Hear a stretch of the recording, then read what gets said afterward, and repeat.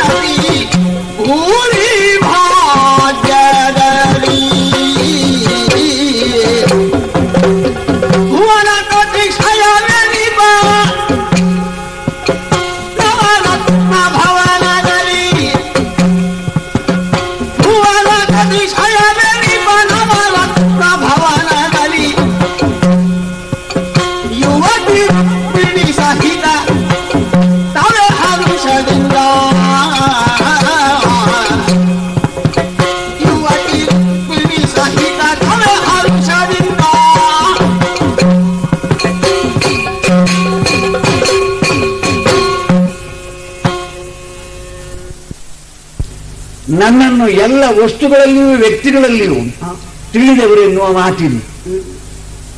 ಇದಾಗಿರುವಂತಹ ಕಂಬದಲ್ಲಿ ನನ್ನ ಬಿಂಬವನ್ನು ಕಂಡಂತೆ ಹಿಂದೆ ಪ್ರಹ್ಲಾದ.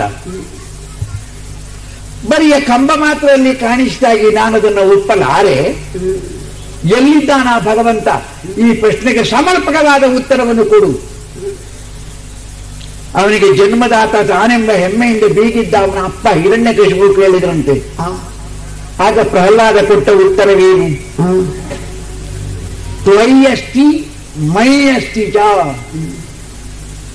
ನಿನ್ನ ಪ್ರಶ್ನೆಗೆ ಉತ್ತರವನ್ನು ಕೊಡುವ ಹೊಣೆ ನನ್ನದು. ಯಾಕಂದ್ರೆ ನಾನು ನಿನಗೆ ಮಗನಿದ್ದೇನೆ. ನನ್ನ, ನಿನ್ನ ಮೈ ಮಗಳೊಳಗಿನ ಸಂಬಂಧದಿಂದ ನಾನು ಮಗನಾಗಿಯೇ ಹೇಳಬಹುದಾದ ಸತ್ಯ- ಸತ್ಯವನ್ನು ಹೇಳ್ತೇನೆ. ನನ್ನೊಳಗಿದ್ದಾನೆ ಭಗವಂತ. ನಿನ್ನೊಳಗೆ ಅಂತ ಹೇಳಿಲ್ಲ ನಿನ್ನಲ್ಲಿಯೂ ತೊಯ್ಯಸ್ತಿ ಚ. ಎಷ್ಟು ಸ್ಪಷ್ಟವಾಗಿ ಉತ್ತರವನ್ನು ಕೊಟ್ಟನೋ ಆ ಪುಟ್ಟ ಮಗುವೆನಿಸಿದ್ದ ಪ್ರಹ್ಲಾದ. ಹಾಗಾದ್ರೆ ಶ್ರೀಕೃಷ್ಣ ಎಲ್ಲಿದ್ದಾನೆ? ತನ್ನ ಮನೆಯಲ್ಲಿದ್ದಾನೆ. ಅವಸರದಲ್ಲಿ ಕೆಲವರು ಹೇಳ್ತಾರೆ. ಹಾಗಾದ್ರೆ ಇದು ತನ್ನ ಮನೆ. ಎಂಬ ನಿರ್ಧಾರವನ್ನು ಮಾಡಿಕೊಂಡ ಕೃಷ್ಣ ತನ್ನ ಮನೆಯೊಳಗೆ ಇರುವಾಗಲೇ ಬೇರೆ ಎಲ್ಲ ಮನೆಗಳಲ್ಲಿ ಇರುತ್ತಾನೆಯೇ ಇರುತ್ತಾನೆ. ತಮಗಾದ ವಿಶಿಷ್ಟ ಅನುಭವದ ಆಧಾರದಲ್ಲಿ ಭಾವುಕರು ಹೇಳಿದ ಮಾತದು. ಇಲ್ಲ. ಅಲ್ಲಿರುವ ಕೃಷ್ಣ ಅಲ್ಲಿಯೇ ಇರುತ್ತಾನೆ. ಏಕದೇಶೀಯತೆಯನ್ನು ನನ್ನಲ್ಲಿ ಆರೋಪಿಸಿ ಕೆಲವರು ಎನ್ನುವ ಮಾತಿದೆ. ಹಾಗಾದ್ರೆ ಶ್ರೀಕೃಷ್ಣನ ವ್ಯಾಪ್ತಿಯ ವಿಶಾಲತೆ ಎಷ್ಟು? ಈ ಪ್ರಶ್ನೆಗೆ ನಾರದರಂತ ಜ್ಞಾನಿಗಳಿಗೆ ಮಾತ್ರ ಉತ್ತರ ಗೊತ್ತಿದೆ.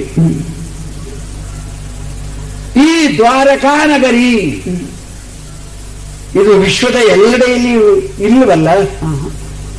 ಸಮುದ್ರ ಮಧ್ಯದಲ್ಲಿರುವ ಸುಂದರವಾದ ದ್ವೀಪ. ದ್ವಾರಕಾ ನಗರಿ ದ್ವಾರವತಿ. ಹಾಗೂ ಇದಕ್ಕೊಂದು ಇದೆ ಕೆಲವರು ಅವಸರದಲ್ಲಿ ತಪ್ಪಾಗಿ ದ್ವಾರಕಾವತಿ ಎನ್ನುತ್ತಾರೆ. ಹಾಗೆ ಬಂತು ಅದು ನನಗೆ ಗೊತ್ತಿಲ್ಲ. ಕರುಣೆಗೆ ಅರಸರವರು ವ್ಯಾಕರಣದಲ್ಲಿ ಕೋವಿದತ್ವವನ್ನು ಪಡೆಯದೇ ಇದ್ದವರು. ಬಿಡಿ. ಇಲ್ಲಿ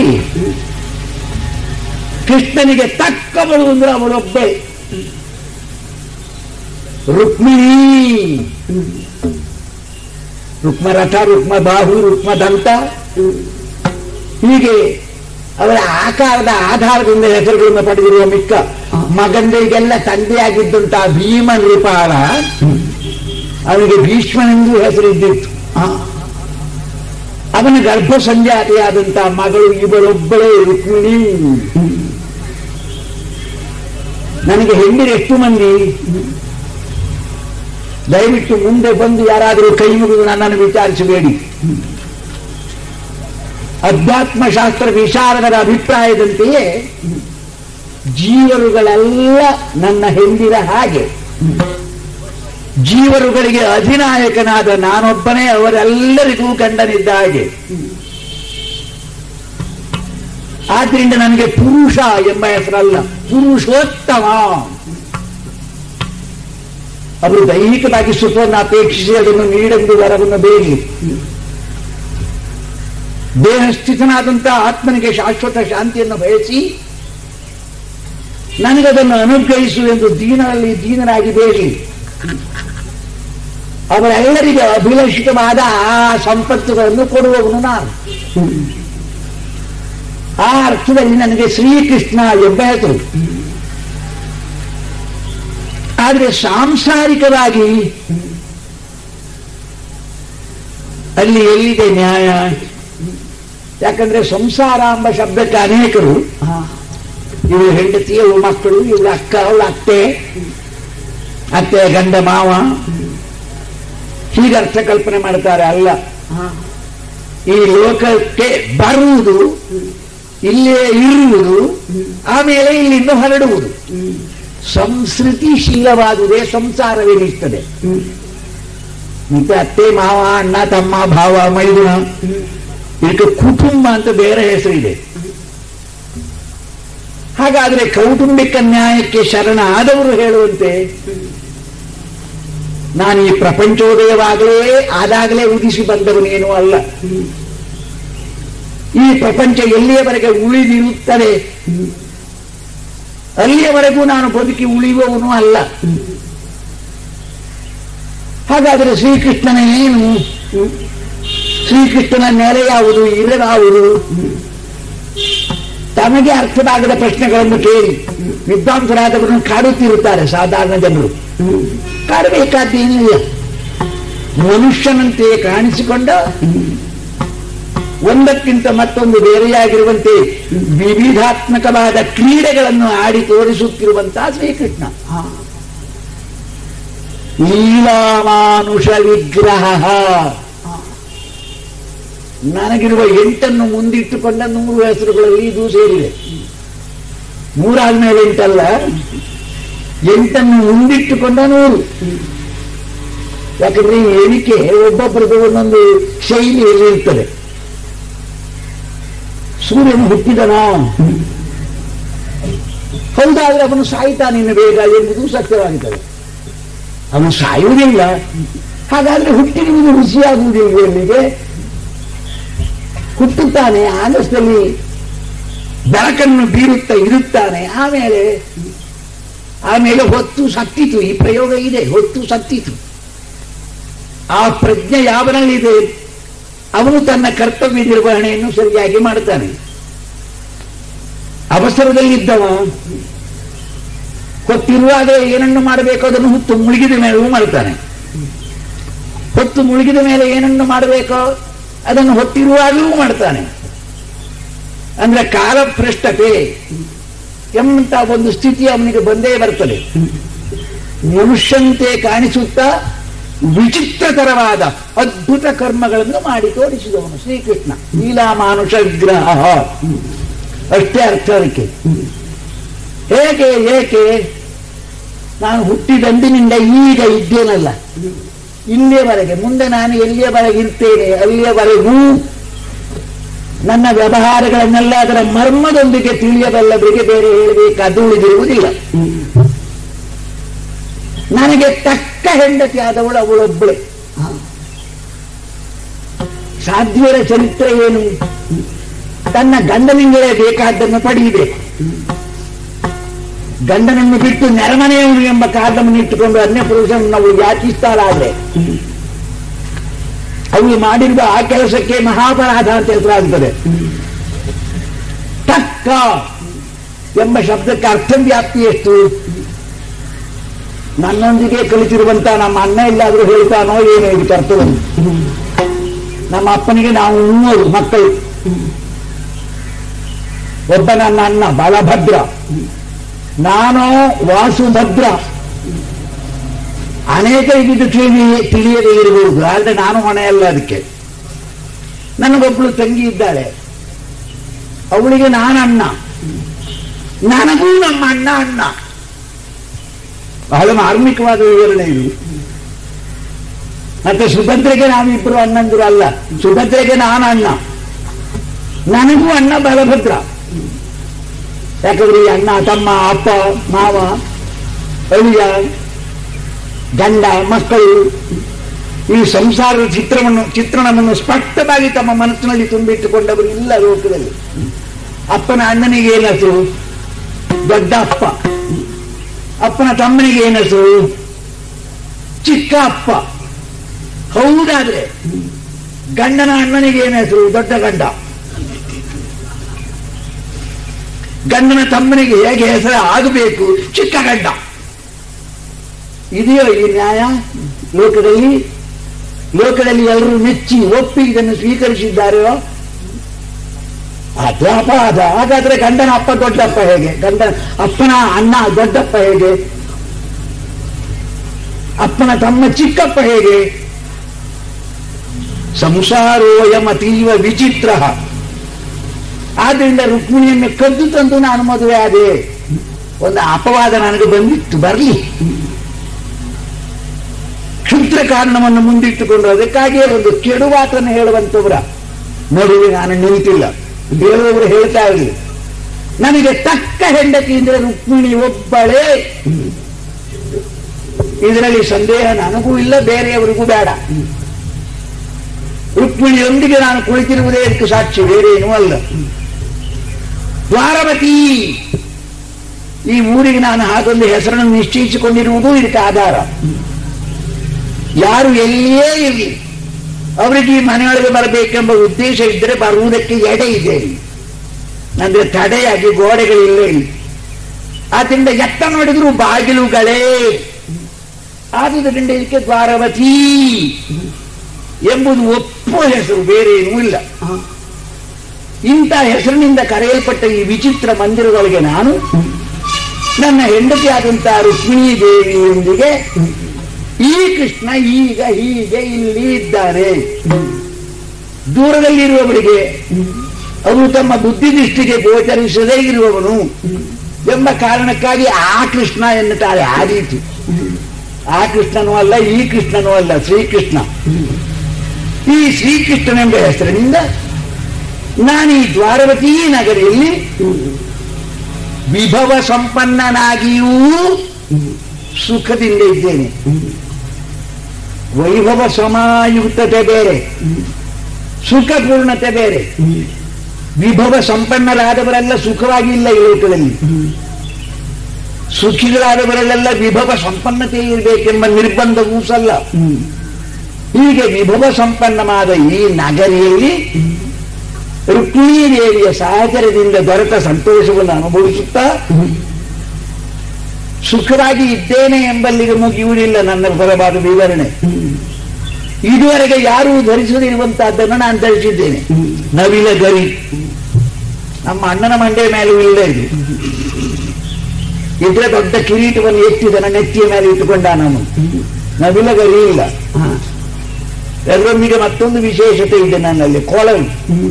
ಅದನ್ನ ಆ ದಿವಸ ಮಧುರಾ ನಗರಿಗೆ ಹೊರಡುವಾಗ ಗೋಪಿಕೆಯರಿಗೆ ಒತ್ತೆಯಾಗಿ ಕೊಟ್ಟಿದ್ದೆ ನಾನು ಮತ್ತು ಓದಲಿಲ್ಲ ಅದನ್ನು ಕೆಲವರು ಹುಡುಕ್ತಾರೆ ಈಗ. ಆಮೇಲೆ ಕೊಳಲು ಕೃಷ್ಣ ಇಲ್ಲವೇ ಇಲ್ಲ ಸಿಕ್ಕುವುದಿಲ್ಲ ಬಾಲ್ಯದಲ್ಲಿ ತುರುವಿಂಡುಗಳನ್ನು ಮೇಯಿಸುವ ಹೊಣೆಯನ್ನು ಒಪ್ಪಿಕೊಂಡಂತಹ ಗೋವಳರ ನಡುವೆ ನಾನು ಒಬ್ಬ ಗೋಗಳನಾಗಿ ಆ ಕೊಳಲನ್ನು ಅದು ವನ್ಯ ಸಾಮಗ್ರಿ ಎಂಬ ಕಾರಣ ಇದ್ದರೂ ಇರಬಹುದು ಕೇವಲ ವನದಲ್ಲಿ ಮಾತ್ರ ದೊರಕುವಂತಹ ವಿಚಿತ್ರವಾದ ವೇಣು ಅದಕ್ಕೆ ಹೆಸರು ಅದನ್ನು ಹಿಡಿದಿದ್ದೇನೆ ಅದರೊಂದಿಗೆ ಇನ್ನೊಂದು ವಿಶೇಷತೆ ಇದೆ. ನವೇದರಿಗೆ ನುಡಿದು. ಕೊಳವನ್ನು ಹಿಡಿದು. ಆಮೇಲೆ ಈ ಹೆಂಡತಿಗೆ ಗಂಡನಾಗಿ ಮಿಕ್ಕವರು ನನ್ನನ್ನು ಹಾಗೆ ಸಂಬೋಧಿಸ್ತಾರೆ. ಗಂಡನೆಂದು ಭಾವಿಸಿದ್ದಾರೆ ಹಾಗೆಯೇ ಸಂಬೋಧಿಸ್ತಾರೆ. ಆದರೆ ಅವರಿಗೆ ತಕ್ಕ ಗಂಡನೂ ನಾನಲ್ಲ. ಇದು ಬಹಳ ಮುಖ್ಯ ವಿಷಯ. ಹಲವು ಹೆಂಡಿನನ್ನು ಪಡೆದಂತಹ ಗಂಡಸಿಗಿದು ಸರಿಯಾಗಿ ಅವನ ಅನುಭವಕ್ಕೆ ದೊರೆತಂತಹ ಸತ್ಯ ಎಲ್ಲರಿಗೂ ಅವನು ಸಮವರ್ತಿಯೇ. ಸಮವರ್ತಿ ಹೌದಾದ್ರೆ ಒಬ್ಬಳಿರುವಾಗ ಮತ್ತೊಬ್ಬಳ ಕೈ ಹಿಡಿದದ್ದು ಯಾಕವ? ಆದ್ರಿಂದಲೇ ಹೇಳುವುದು ನಾನು. ಎಲ್ಲರಿಗೂ ನಾನು ಗಂಡನೆಂಬುದರಲ್ಲಿ ಹುಸಿ ಇಲ್ಲ. ಎಲ್ಲರಿಗೂ ತಕ್ಕ ಗಂಡನಾಗಿ ಇಲ್ಲ. ರುಕ್ಮಿಣಿ ಒಬ್ಬಳಿಗೆ ನಾನು ತಕ್ಕ ಗಂಡನಾಗಿ ಇದ್ದೇನೆ ಈ ತಕ್ಕ ಎಂಬುದರ ಅರ್ಥ ತಿಳಿಯದೆ ಕೆಲವರು ಮತ್ತೆ ನಾಲ್ಕು ಅಕ್ಷರಗಳನ್ನು ಸೇರಿಸ್ತಾರೆ. ದಿನಿ ತಕ್ಕ ಅಂತ ಬೇಡ ರುಕ್ಮಿಣಿ ದೇವಿಗೆ ತಕ್ಕ ಗಂಡನಾಗಿ, ಈಗ ಸುಖಪೂರ್ಣತೆಯಲ್ಲಿ ದ್ವಾರಕಾ ನಗರಿಯಲ್ಲಿ ನಾನು ವಾಸವಾಗಿದ್ದೇನೆ. ಇದು ನನ್ನ ಸದ್ಯದ ಸ್ಥಿತಿ. ಈಗ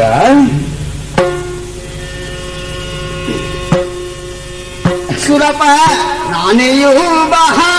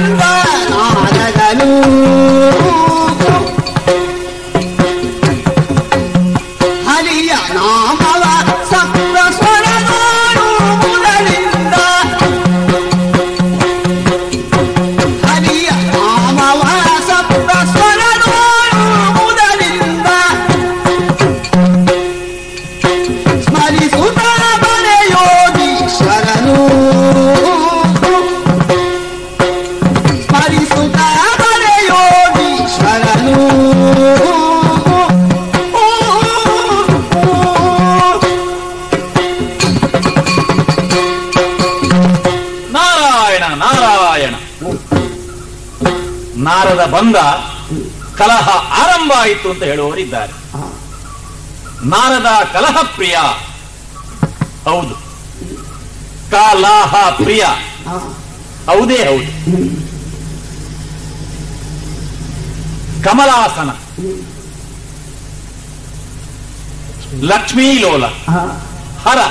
ಮೂವರಿಗೂ ಪ್ರಿಯನಾದ ಈ ನಾರದ. ಶ್ರೀಕೃಷ್ಣ ಹುಟ್ಟುವ ಪೂರ್ವದಲ್ಲಿ ಕಂಸನ ಬಳಿಗೆ ಹೋಗಿ. ಹಾಗೆ ಹೀಗೆ ಅಂತ ಚಾಡಿ ಹೇಳಿದ್ದು ಹೌದು. ಅದಕ್ಕೆ ಪ್ರೇರಣೆ ಕೊಟ್ಟದ್ದು ಯಾರು? ಶ್ರೀಹರಿ. ಸೆಮಂತಕಮಣಿಯ ಪ್ರಕರಣದಲ್ಲಿ ಬಲರಾಮನ ಹತ್ತಿರ ಹೋಗಿ ಶ್ರೀಕೃಷ್ಣನಿಗೆ ಬಂದಂತಹ ಅಪವಾದ ಯಾವ ಸ್ವರೂಪದ್ದು? ಸತ್ರಾಜಿತ ಹೇಳುವಂತಹ ಮಾತುಗಳೇನು. ಬೇಟೆಗೆ ಹೋದಂತಹ ಪ್ರಸೇನ ಹಿಂದೆ ಬರದೆ ಉಳಿದದ್ದಕ್ಕೆ ಕಾರಣ ಏನು? ಕೃಷ್ಣನ ಮೇಲೆ ಇರುವಂತಹ ಆಪಾದನೆಗಳೇನು? ಇವೆಲ್ಲವನ್ನು ಹೇಳಿ ಬಲರಾಮನ ಕಿವಿ ಊದಿದವ ನಾನು. ಪರಿಣಾಮ ಏನಾಯಿತು? ರುಕ್ಮಿಣಿಯ ಗಂಡನಾಗಿ ಇದ್ದಂತಹ ಶ್ರೀಕೃಷ್ಣ ಸತ್ಯಭಾಮೆ ಹಾಗೂ ಜಾಂಬವತಿ ಇವರಿಗೆ ಗಂಡನಾಗಿ ಇರುವಂತಹ ಸ್ಥಿತಿ ಉಂಟಾಯಿತು. ಈ ದಿನದ ತನಕ ಶ್ರೀಕೃಷ್ಣನಿಗೆ ಎಷ್ಟು ಮದುವೆ? ಒಬ್ಬೊಬ್ಬರು ಒಂದೊಂದು ಲೆಕ್ಕ ಹೇಳಬಹುದು. ಆ ಮದುವೆಯ ಪಟ್ಟಿಯಲ್ಲಿ ಇನ್ನೂ ಸೇರ್ಪಡೆ ಆಗಬೇಕು ಅಂತ ಹೇಳಿದ್ರೆ. ನನ್ನ ಕೈಯಲ್ಲಿರುವಂತಹ ವಸ್ತುವೇ ಅದಕ್ಕೆ ಮೂಲ ಕಾರಣವಾಗಿ ಯಾಕೆ ಪರಿಣಮಿಸಬಾರದು? ಯಾವುದೋ ಒಂದು ಪ್ರೇರಣೆ. ನನ್ನನ್ನು ಸುರನಗರಿಯಿಂದ ದ್ವಾರವತಿ ತನಕ ಏಳೆ ತಂದಿದೆ ಅಂತ ಹೇಳಿದ್ರು. ತಪ್ಪಾಗ್ಲಿಕ್ಕಿಲ್ಲ. ಅವನನ್ನೇ ಧ್ಯಾನಿಸುತ್ತಾ ಮುಂದೆ ಹೋಗ್ತೇನೆ. ದೇವರೋಕರಿಂದ ದೇವಲೋಕದಿಂದ ಆನೆ ಇಳೆಗೆ ಇಳಿದು ಬಂದಿತೇನೋ ಎಂಬಂತೆ ಈ ಮಂಗಳ ದೃಶ್ಯ ಕಾಣಿಸುತ್ತಿದೆಯಲ್ಲ? ಋಷಿಕುಲ ಸಾರ್ವಭೌಮನೆನಿಸಿದ ನಾರದರೆ ಒಳ್ಳಿತಾಯ್ತು ಒಳ್ಳಿತಾಯ್ತು ಸ್ವಾಮಿ. ನಾರದ ಮುನಿ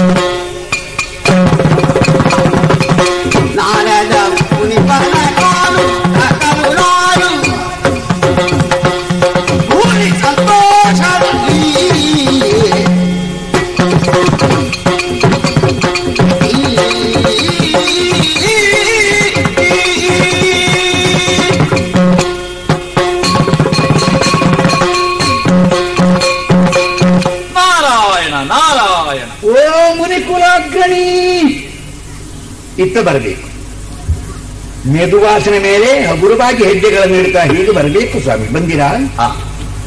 ಈಗೋ ಎತ್ತರದ ಮನೆ. ನಿಮಗೆ ಅಥವಾ ನಿಮ್ಮಂತವರಿಗೆ ಮೀಸಲಾದ ಮನೆಯಲ್ಲಿ.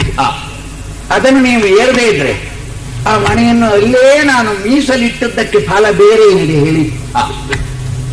ನಾರದರೆ ಊರಿನಲ್ಲಿ ಒಬ್ಬೊಬ್ಬನಿಗೆ ಎಷ್ಟೆಷ್ಟು ಹಿಂದೆಯೋ ಈ ಪ್ರಶ್ನೆಗೆ ಉತ್ತರ ನಿಮಗೆ ಬೇಡ. ನೀವಂತೂ ಯಾವರೊಬ್ಬರನ್ನು ತನಗೆ ಬೀಳತಕ್ಕವಳು ಅಂತ ತಿಳಿದು ಸ್ವೀಕರಿಸಿದವರು ಅಲ್ಲ.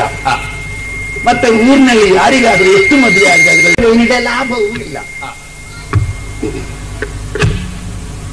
ಒಂದು ಪ್ರಶ್ನೆಯನ್ನು ಕೇಳುವುದಕ್ಕೆ ಎದೆ ಮಾಡಿ ಕೊಡ್ತೀವಿ ಆ ಕರುಣೆಯಿಂದ? ಅದು ನನ್ನ ಭಾಗ್ಯ ಅಂತ ತಿಳ್ಕೊಳ್ತೇನೆ. ಯಾಕೆ ಹಾಗೆ ತಿಳಿಯುತ್ತೀರೋ? ಆ, ನಮ್ಮಲ್ಲಿ ಗಾದೆಯ ಮಾತೊಂದು ಹುಟ್ಟಿದೆ. ಆ, ಈ ಮೊದಲು ಅನೇಕ ಆವೃತ್ತಿ ಇಲ್ಲಿಗೆ ಬಂದಿದ್ದೀರಿ ನಾರದ. ಅವನನ್ನು ಹೆತ್ತಬ್ಬೆ ಇಲ್ಲದೆ ಇದ್ರು ಹೆತ್ತವಳಂತೆ ಹೆಮ್ಮೆಯಿಂದ ಹೇಳಿಕೊಳ್ಳುವಂತ ಶಾರದ. ಅವಳಿಗೆ ಮಗನಾದುದರಿಂದಲೇ ಅವನ ನಾಲಿಗೆ ಮಾರುದ್ದ. ನಮ್ಮಲ್ಲೆಲ್ಲ ಗಾದೆಗಳು. ಹೀಗೆ ಅನೇಕ ಪ್ರಕಾರವಾಗಿ ಗಾದೆಗಳಿಗೆ ತಮ್ಮ ಆಗಮನದಿಂದಲೇ ಉತ್ತರವನ್ನು ಕೊಟ್ಟಿರುವವರು ನೀವು. ಆಗಮನ ಅಷ್ಟೇ. ನೀವು ಯಾರನ್ನಾದ್ರೂ ಕರೆದು ಕರೆದಿರೋ ನನ್ನ ನಾಲಿಗೆ ಎಷ್ಟಿದ್ದ ನೀವು ಅಳೆದಿದ್ದೀರಾ ತಿಳಿದಿದ್ದೀರಾ ಅಂತ ಕೇಳಬೇಕಾಗಿಲ್ಲ. ನೀವು ಬಂದಿದ್ದೀರಿ ಎಂಬುದರಿಂದ ನನಗಾದ ನನಗಾದ ಸಂತೋಷವೆಷ್ಟೆಂಬುದನ್ನು ಹೇಳುವುದಕ್ಕೆ ನನಗೆ ಸಾಧ್ಯ ಇಲ್ಲ ಸ್ವಾಮಿ. ಯಾಕಂದ್ರೆ ಒಂದೇ ನಾಲಿಗೆ. ನಾನೊಂದು ಹಾವಾಗಿ ಆದರೂ ಇದ್ದಿದ್ರೆ ಎರಡು ನಾಲಿಗೆಗಳು ಇರುತ್ತಿದ್ದು ಆಗ. ನಿಮ್ಮ ಸ್ತುತಿಯನ್ನು ಯಥಾಪ್ರಕಾರವಾಗಿ ಮಾಡಬಹುದಾಗಿದ್ದಿತ್ತೋ ಏನೋ. ಹಾವಾಗಿದ್ದಿದ್ರೆ. ಎಷ್ಟಾದ್ರೂ ಈ ಮನುಷ್ಯನಿಗೆ ನಾಲಿಗೆ ಒಂದೇ. ಆದ್ರಿಂದ ಒಂದು ನಾಲಿಗೆಯಿಂದ ನಾನು ಎಷ್ಟೆಂದು ನಿಮ್ಮನ್ನು ಸ್ತುತಿಸಲಿ. ಸುರಲೋಕದಿಂದ ಬಂದಿದ್ದೀರಿ ಅಂತ ಕಾಣುತ್ತದೆ. ಇನ್ನೊಂದು ಗಳಿಗಳಿಗೆ ಪಾತಾಳಕ್ಕೆ ಇಳಿತೀರೋ ಏನೋ.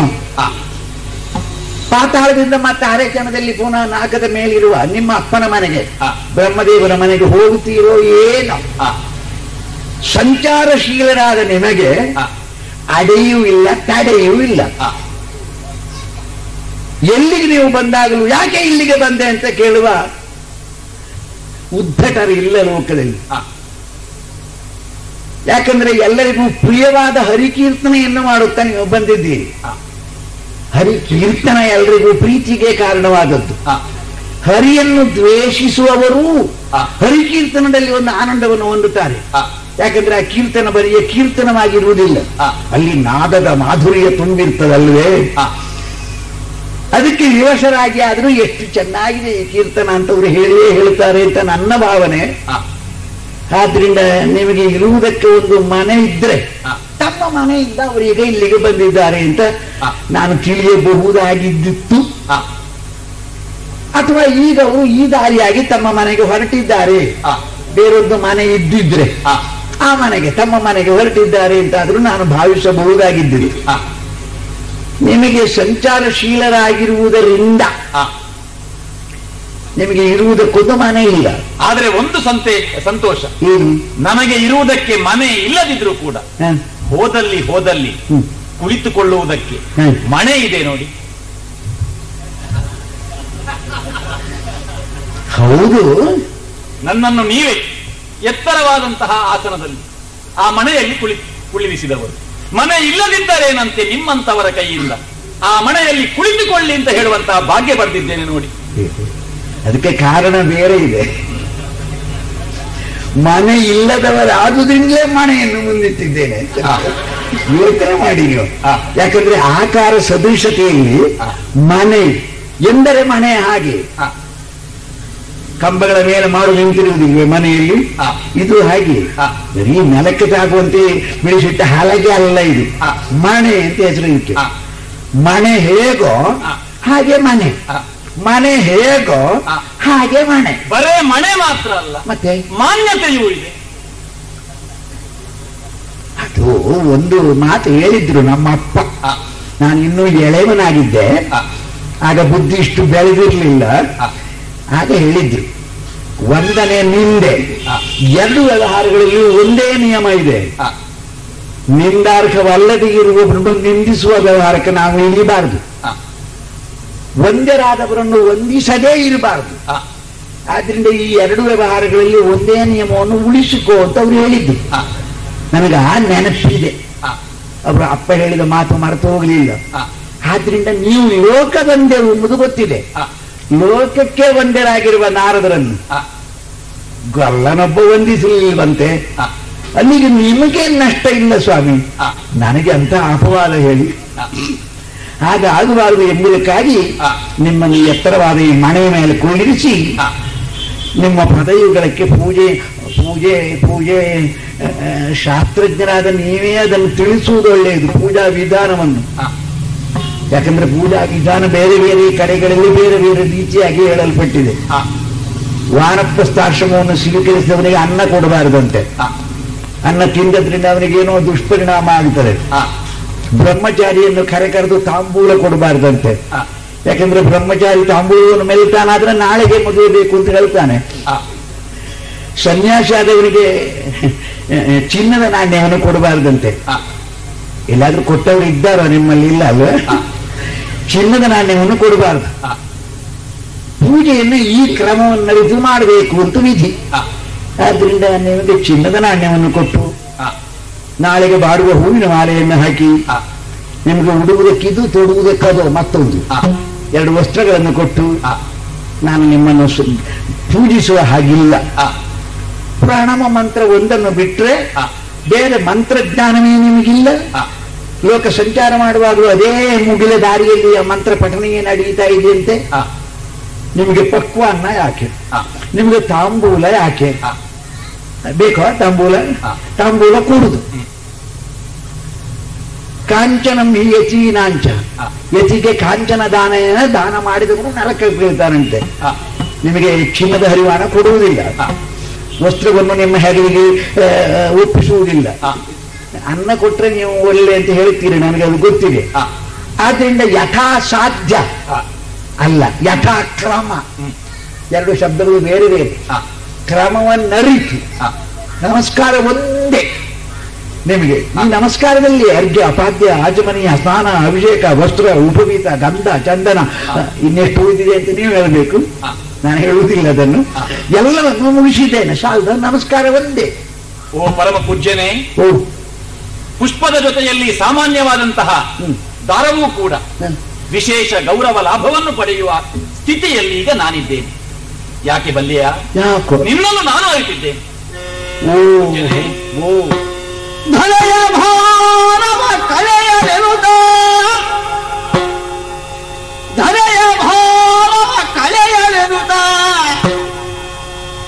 ಅವತರಿಸಿ ನರನಾಟಕದಿ ರಂಜಿಪ ಪರಮ ಪುರುಷನೇ ಪದ್ಮನಾಭನೇ ವಿಶ್ವವಂದಿತನೇ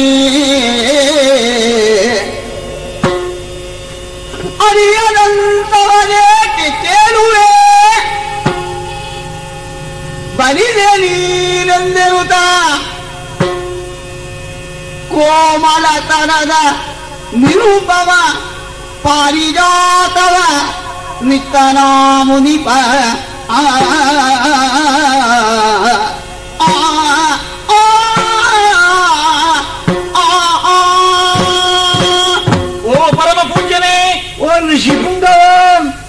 ಯಾವ ರೀತಿಯ ಪೂಜೆ ನಿನಗೆ ಬೇಕು ಎನ್ನುವಂತಹ ಪ್ರಶ್ನೆಯನ್ನು ಮುಂದಿಡುವ ಶ್ರೀಕೃಷ್ಣ ಓ ನಂದ ಗೋಕುಲದಲ್ಲಿ ಅಲ್ಲಿದ್ದಂತಹ ಪುರನಿವಾಸಿಗಳು ಆ ಪೂರ್ವದಲ್ಲಿ ಮಾಡುತ್ತಿದ್ದಂತಹ ಪೂಜಾ ವಿಧಿಗಳಿಗೆ ಹೊಸ ದಾರಿಯನ್ನು ತೋರಿಸಿ. ಗೋವರ್ಧನೋದ್ಧಾರಕ ಎನ್ನುವಂತಹ ಹೆಸರನ್ನು ಪಡೆದಂತಹ ನೀನು. ಈ ಅವತಾರದಲ್ಲಿ ಮಾಡಿದಂತಹ ಎಲ್ಲ ಆ ವಿಶೇಷ ಘಟನೆಗಳನ್ನು ಚೆನ್ನಾಗಿ ನೆನಪಿನಲ್ಲಿ ಇಟ್ಟುಕೊಂಡು ಈ ಕೃಷ್ಣಾವತಾರ ಯಾಕೆ? ನಾರಾಯಣನಾದಂತಹ ನೀನು.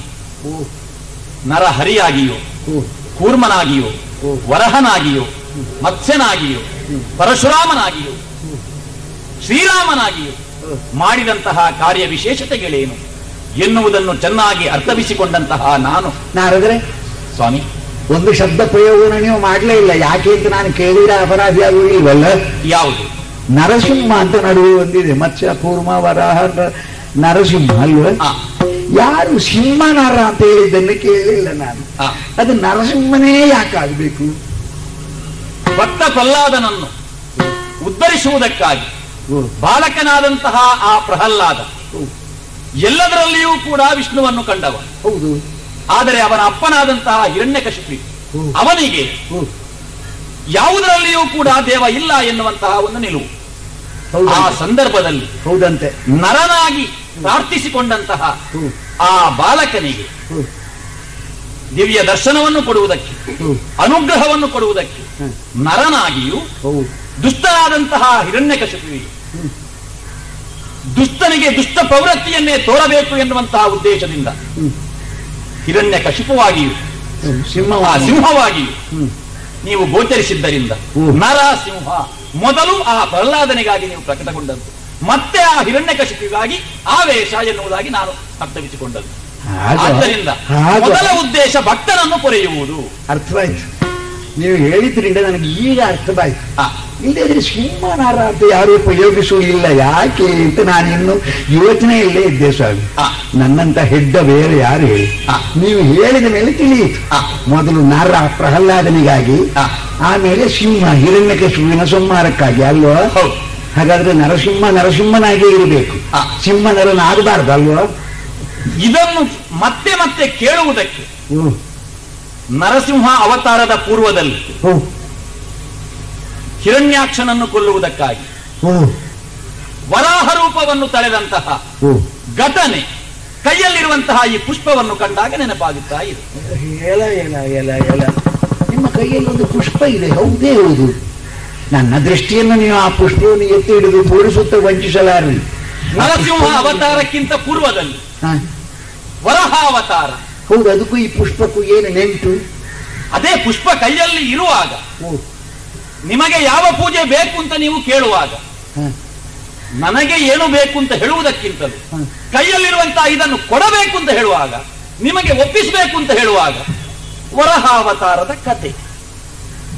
ಯಾಕೆ ಅಂತ ಗೊತ್ತಾಗಲಿಲ್ಲ. ಸ್ವೀಕರಿಸಬೇಕು ಸ್ವೀಕರಿಸಬೇಕು.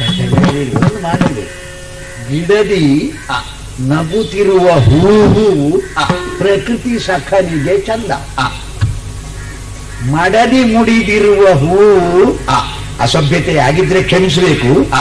ನಿಮಗಿಲ್ವಲ್ಲ?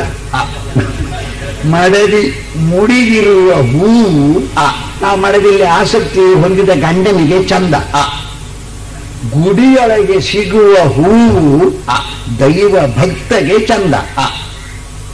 ಈಗ ನೀವು ಪ್ರಕೃತಿ ವ್ಯಕ್ತಪಡಿಸಿದ ಸೌಂದರ್ಯ ಹೂವು ಮಾ ಹೂವಿನಲ್ಲಿ ಮಾತ್ರ. ಅದಕ್ಕಾಗಿ ತಂದಿರೋ ನನ್ನ ಪ್ರಶ್ನೆ ಮುಗಿಲಿಲ್ಲ ಇಲ್ಲಿಗೆ. ತನ್ನ ಮಡದಿಗೆಲ್ಲಾದರೂ ಯಾರಾದರೂ ಪುಣ್ಯ ಪುರುಷರಿದ್ರೆ ಮೂಡಿಸಿ ಎಂಬ ಉದ್ದೇಶಕ್ಕಾಗಿ ನೀವು ತಂದಿರಲಿಕ್ಕಿಲ್ಲ. ಯಾಕಂದ್ರೆ ನಿಮಗೆ ಮಡದಿಯೇ ಇಲ್ಲ. ನಿಮಗೆ ಗುಡಿಯಲ್ಲಿ ದೊರೆತಿರುವ ಪ್ರಸಾದ ಅಂತ ನಾನು ಭಾವಿಸ್ತೇನೆ ಅಂದ್ರೆ ಆ ಭಾವನೆ ತಲೆ ಕೆಳಗಾಗುತ್ತದೆ ಇಲ್ಲಿ ಯಾಕಂದ್ರೆ ನನ್ನ ಫಲತ್ವವನ್ನು ಒಪ್ಪಿದ ನೀವು. ಗುಡಿಯೊಳಗೆ ಸಿಕ್ಕಿದ ಹುಡುಗು ಅಂತ ಹೇಳಲಿಲ್ಲ. ಹೇಳಬೇಕಾಗಿಯೂ ಇಲ್ಲ. ಆದ್ರಿಂದ ತಿಳಿಯದೆ ಒಂದು ಪ್ರಶ್ನೆ ಕೇಳ್ತೇನೆ ಸ್ವಾಮಿ ಈ ಹೂ ಒಂದು ಹೂ. ನರದ ನಾರದ ಪಾರಿ ಜಾತದ ಪಾರಿಜಾತದ ಪುಷ್ಪವು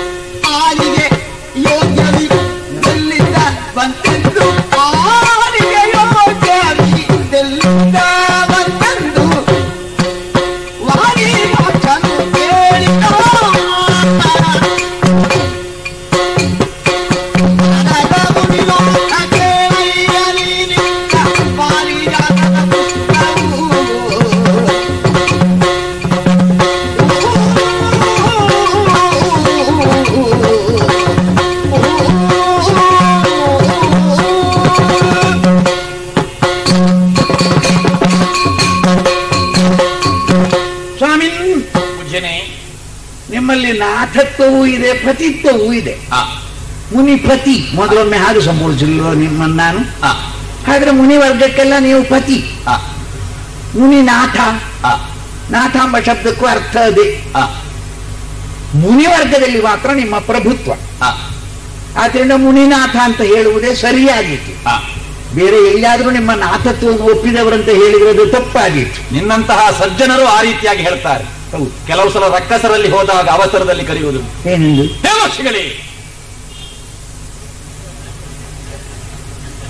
ಆದ್ರೆ ಒಂದು ಉಪಕಾರ ಮಾಡಿದ್ದಾರೆ ಅವರು. ಆ, ದಕಾರಕ ಮಹಾಪುರಾಣ ಹೇಳಲಿಲ್ಲ ಅವರು.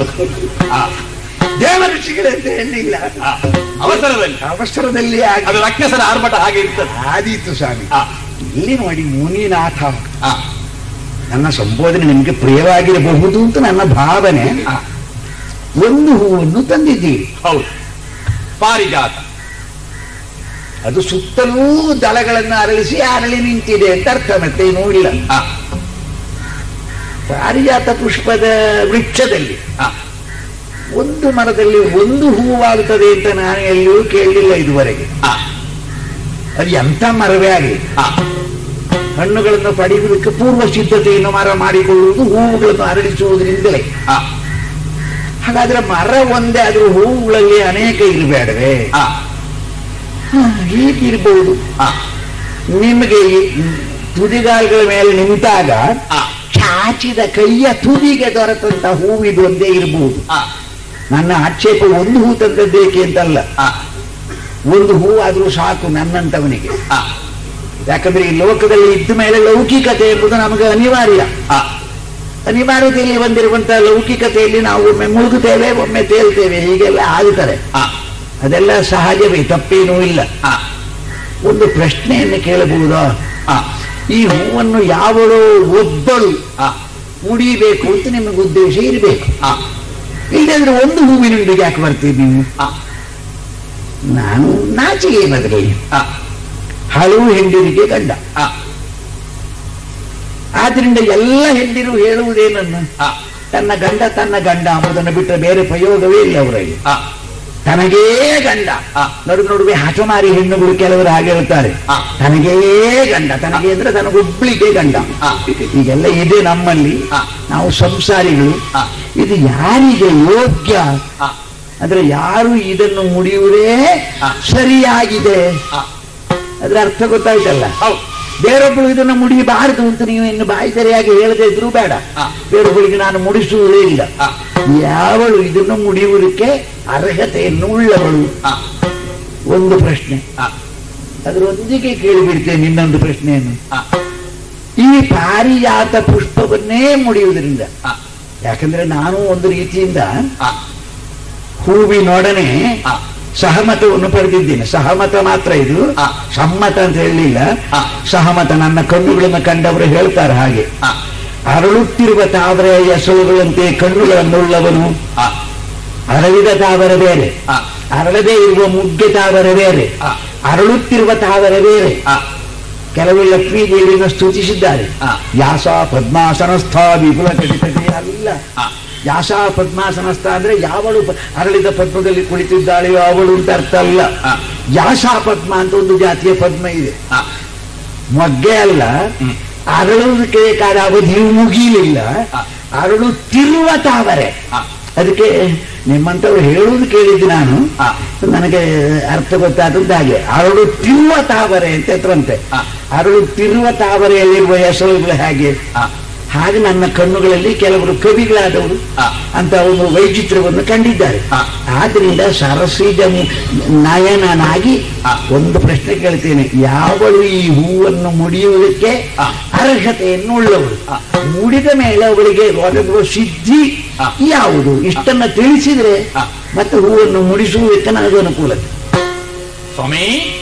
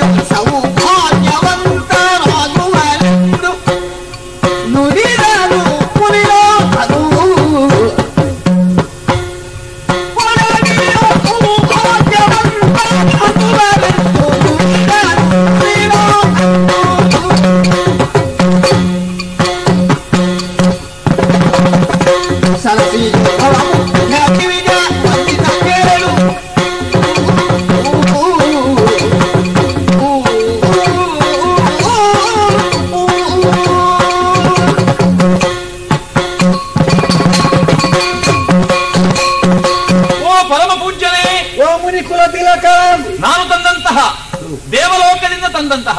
ಸಮುದ್ರ ಮತನ ಕಾಲದಲ್ಲಿ ಹುಟ್ಟಿಕೊಂಡಂತಹ ದಕ್ಕಿದಂತಹ ಆ ಪಾರಿಜಾತ ಪುಷ್ಪ ಒಂದು ಪುಷ್ಪವನ್ನು ತಂದಿದ್ದೇನೆ.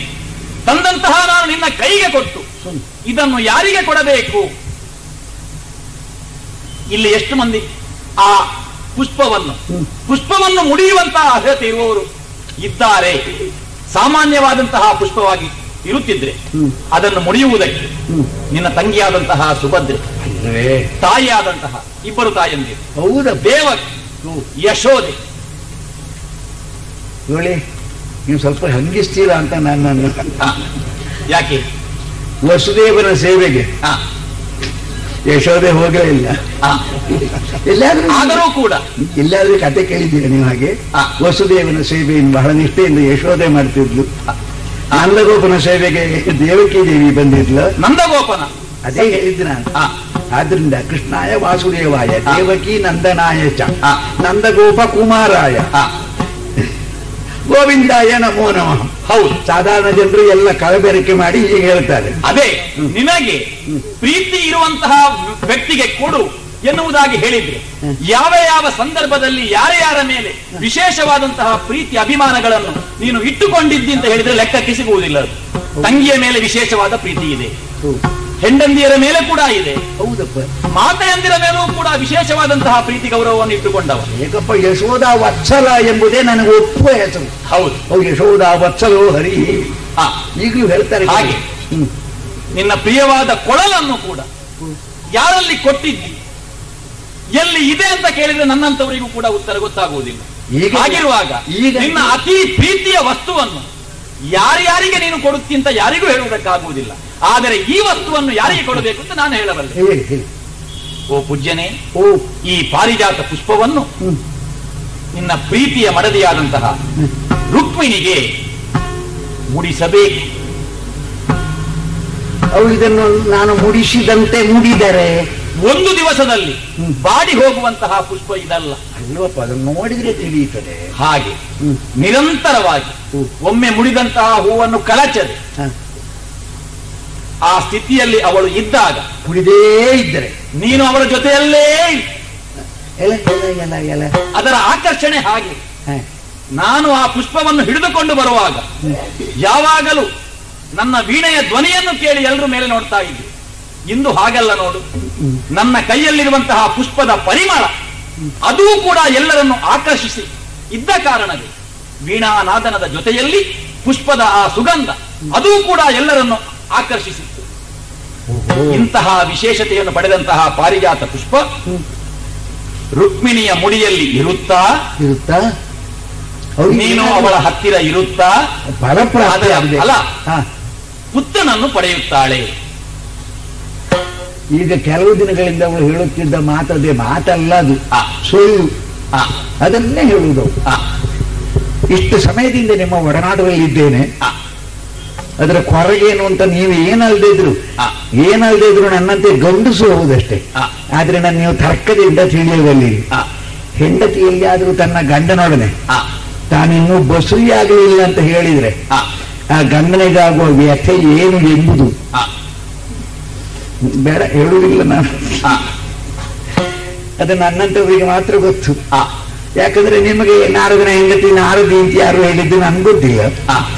ಆದ್ರಿಂದ ಹೆಂಡತಿ ಬಸುರಿ ಆಗಲಿಲ್ಲ ಯಾಕೆ ಅಂತ ನೀವು ಹೇಳಿದ ಹಾಗಲ್ಲ. ರುಕ್ಮಿಣಿಗೆ ಈ ಹೂವನ್ನು ಮುಡಿದಾಗ ವಿಶೇಷ ಸೌಭಾಗ್ಯ ಪ್ರಾಪ್ತಿಯಾಗ್ತದೆ. ಸೌಭಾಗ್ಯ ನಾನು ಒಟ್ಟಿಗಿದ್ರೆ ಮುಗೀತಲ್ಲ ಅದೇ ಸೌಭಾಗ್ಯ. ಅದಕ್ಕಿಂತ ಬೇರೆಯಾಗಿ ಒಂದು ಸೌಭಾಗ್ಯ ಅವಳಿಗೆ ಬೇಕಾಗುವುದಿಲ್ಲ? ಅದು ಸೌಭಾಗ್ಯ. ಪುತ್ರ ಭಾಗ್ಯ. ಹಾ ಹಾ ಹೇ ನನಗೆ ಬೇಕಾದದ್ದು. ಈ ಹೂವನ್ನು ಮುಡಿದ ಮೇಲೆ ರುಕ್ಮಿಣಿ ಬಸುರಿ ಆಗುತ್ತಾಳೆ ಆ. ಬಸುರಿ ಆಗುತ್ತಾಳೆ ಅಲ್ಲದೆ ಆ ಪುಷ್ಪವನ್ನು ಮುಡಿಯುವಂತಹ ದೃಶ್ಯ. ನೀನೇ ಕೈಯಾರೆ ಮುಡಿಸುವಂತಹ ದೃಶ್ಯ. ಅದನ್ನು ಕಾಣಬೇಕು ಎನ್ನುವ ಬಯಕೆಯೂ ಇದೆ ನನ್ನ ಅತ್ಯಂತ ವಿನಯದಿಂದ ಒಂದು ಪ್ರಾರ್ಥನೆಯನ್ನು ಮಾಡುತ್ತೇನೆ ನಾನು. ಗಂಡನು ತನ್ನ ಹೆಂಡತಿಗೆ ಹೂ ಮುಡಿಸುವಾಗ ಆ, ದೃಶ್ಯವನ್ನು ಬೇರೆ ಯಾರು ಕಂಡ್ರು ಆದೀತು ನಿಮ್ಮಂತವ್ರು ಕಾಣಬಾರ್ದು. ಆದರೆ ಒಂದು? ತಂದೆ ತಾಯಿಯದು. ಆ ಸ್ಥಿತಿಯಲ್ಲಿ ಇರುವಾಗ ಮಗನಾದವ ಕಾಣಬಹುದು. ಒಂದು ಪುಷ್ಪವನ್ನು ನಾವು ಭಕ್ತಿಯಿಂದ ಅರ್ಪಿಸುವಂತಹ ಪೂಜಿಸುವಂತಹ ದೇವರು ಪೂಜಾರಿ ಅದಕ್ಕೆ ಉಡಿಸುವಂತಹ ಆದರ್ಶವನ್ನು ನಾವು ಕಾಣಬಹುದು. ಇಲ್ಲಿ ನಾನು ನಿಮಗಂತೂ ಅದಲ್ಲ ಆ, ತಂದೆ ಅಲ್ಲ ನಾನು. ನಾನು ಪೂಜಾರಿಯಾಗಿ ಯಾರೋ ಕೊಟ್ಟ ಹೂವನ್ನು ಮುಡಿಸುವುದು ಅಲ್ಲ ರುಕ್ಮಿಣಿ ನನಗೆ ತಂದೆ ಅಲ್ಲದಿದ್ರು ನನ್ನ ತಂದೆಗೆ ತಂದೆ ಅಂತೂ ವಯಸ್ಸಿನಿಂದ ಅಲ್ಲದೆ ಇದ್ರೆ ಬೇಡ. ಆ, ನನ್ನನ್ನು ಮುದುಕ ಅಂತ ಹೇಳುವುದಕ್ಕೆ ನೀವು ಮುಂದಾಗಿದ್ದೀರಿ. ಆ. ವೃದ್ಧಿಯನ್ನು ಪಡೆದವ ಹ, ಹೌದು. ಎಲ್ಲಾ ವಿಚಾರದಲ್ಲಿ. ಹೌದಪ್ಪ. ಆ, ಅದಕ್ಕೆ ಅದೇ ಹೆಸರು ಹೇಳಬೇಕು. ಆ, ಜ್ಞಾನದಿಂದ ವೃದ್ಧನಾದವನು. ಆ. ಜ್ಞಾನ ವೃದ್ಧ ಅಂತಲೇ ಹೆಸರು. ಆ, ಒಮ್ಮೆ ಸುಮ್ಮನೆ ವೃದ್ಧ ಅಂತ ಹೇಳುವುದು ಆಮೇಲೆ ಜ್ಞಾನದಿಂದ. ಆ. ಅದೆಲ್ಲ ಸರಿಯಾದ ಕ್ರಮ. ಆ, ಒಟ್ಟಿಗೆ ಮೂರು ಒಂದು ನಾಲ್ಕು. ಆ, ಇಟ್ಟು ಹೇಳುವುದನ್ನು ಬಿಟ್ಟು ಆ. ಇದು ಮೂರು ಆ. ಇದೆಷ್ಟು ಒಂದು. ಆ. ಯಾಕ ಆ ಮೂರು ಒಂದನ್ನು ಬೇರ್ಪಡಿಸಬೇಕು ಹೇಳಿ ನೀವೇ ಹೇಳಿ. ಆದ್ರಿಂದ ಜ್ಞಾನ ವೃದ್ಧ ಹೌದು. ಒಪ್ಪುತ್ತೇನೆ ನಾನು ಈಗ ಇದನ್ನು ಅಭಿನಯ ಅಂತ ಹೇಳಿದ್ದೀರಿ ನೀವು. ನರನಾಟಕ ನರ ನಾಟಕ ಅಂತ ಹೇಳಿದ್ದೀರಿ. ನರನಾಗಿ ನಾಟಕ ಮಾಡಿದೆ ಮತ್ತೇನು ಮಾಡ್ಬೇಕು ಹೇಳಿ ನಾನು? ನಾಟಕ ಮಾಡಿದ್ದು ಹೌದು. ಈಗ ರುಕ್ಮಿಣಿ ಬಸುರಿಯೂ ಆಗ್ತಾಳೆ ಅಂತ ನೀವು ಹೇಳಿದ್ರಿ ಅಂದ್ರೆ. ಆದ್ರೆ ಒಂದು ಸ್ವಾಮಿ.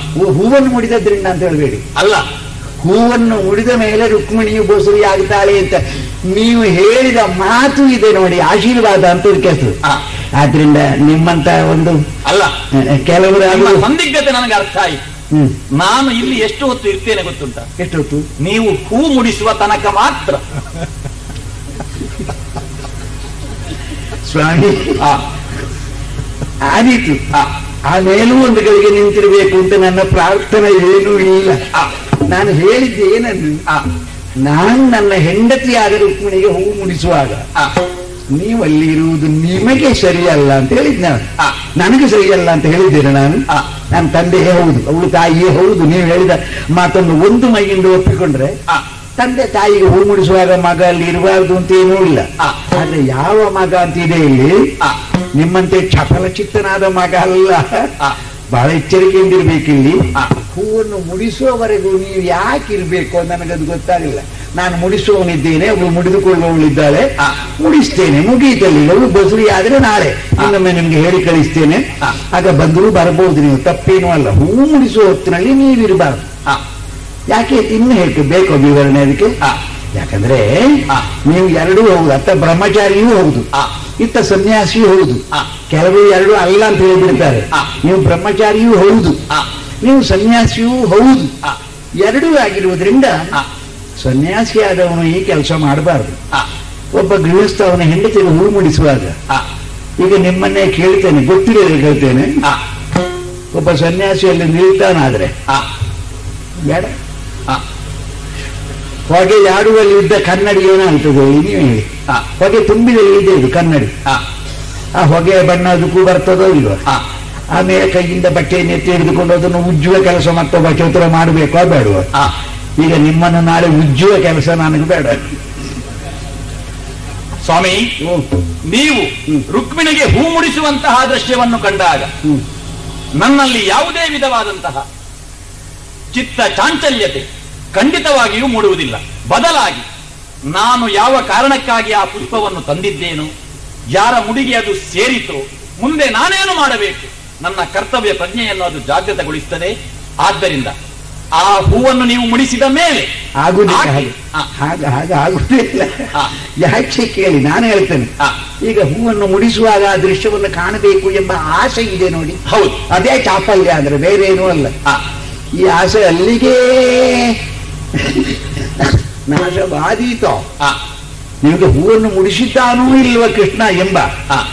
ನಿಮ್ಮಲ್ಲಿ ವಿಶ್ವಾಸ ಇಲ್ಲದೆ ಆ ವಿಶ್ವಾಸ ಇಲ್ಲದೆ. ಇದ್ರೆ ಇಲ್ಲಿ ನಾನೊಬ್ಬನೇ ಇರುವುದಲ್ಲ ಈ ಮನೆಯಲ್ಲಿ. ರುಕ್ಮಿಣಿಯ ಕಡೆಯವರಿದ್ದಾರೆ ನನ್ನ ಕಡೆಯವರಿದ್ದಾರೆ ಇದ್ದಾರೆ. ನಿಮ್ಗೆ ಹೋಗುವಾಗ ಯಾರೆಲ್ಲ ಇದ್ರಾಗಿ ಬರ್ತಾರೆ. ಅವರನ್ನೆಲ್ಲ ವಿಚಾರಿಸಿ. ಹೂ ಮುಡಿಸಿದ್ದಾನೋ ಹೂ ಮುಡಿಸಿದ್ದಾನೋ ಕೃಷ್ಣ ಅಂತ. ಯಾಕಂದ್ರೆ ಎಲ್ಲರೂ ಒಟ್ಟಾಗಿ ಒಂದು ಸುಳ್ಳು ಹೇಳುವುದಿಲ್ಲ. ಸುಳ್ಳು ಹೇಳುವವರ ನಡುವೆಯೂ ಸತ್ಯವಾದಿ ಸಿಗ್ತಾನೆ. ಆದ್ರಿಂದ ನೀವು ಹಾಗಾದ್ರೂ ಮಾಡದೆ. ನಾನು ಇಲ್ಲಿಯೇ ಇರ್ತೇನೆ ಅಂತ ಹೇಳುವಾಗ ನನಗದೇ ಆ ಚಪ್ಪಲ್ ಹಾಗೆ ಹೇಳುವುದಿದ್ರೆ ನಾನು ಹೀಗೆ ಹೇಳಬಹುದು ಹೀಗೆ? ಮಾಡಬಹುದು. ಹೇಗೆ?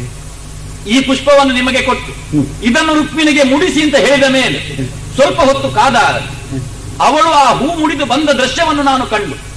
ಹೌದು ಶ್ರೀಕೃಷ್ಣ ಸ್ವಾಮಿ ಮುಡಿಸಿದ್ದಾನೆ ಈ ರೀತಿಯಾಗಿ ತಿಳಿದುಕೊಳ್ಳಬಹುದಿತ್ತು. ಇತ್ತು ಹೌದು. ಆದರೆ ಆದ್ರೆ ಇತ್ತು ಎಂಬಲ್ಲಿ ಒಂದು ಸಂದೇಹ ಬರ್ತದೆ. ಆದ್ರೆ ಆ ಭಾಗ್ಯಕ್ಕಿಂತ ಈ ಭಾಗ್ಯ ವಿಶೇಷ. ಅಲ್ಲ. ರುಕ್ಮಿಣಿ ದೇವಿ ಒಪ್ಪಣೆ ಇದ್ರೆ ನಾನು ಮುಡಿಸ್ಲಿಕ್ಕಾಗ್ತದ ಆ, ಅದು ಸರಿ. ನೋಡಿ ಯೋಚನೆ ಮಾಡಿ. ಅವಳಿಗೆ ಮತ್ತೊಬ್ಬ ಗಂಡಸು ಇಲ್ಲಿ ಇದ್ದಾನೆ.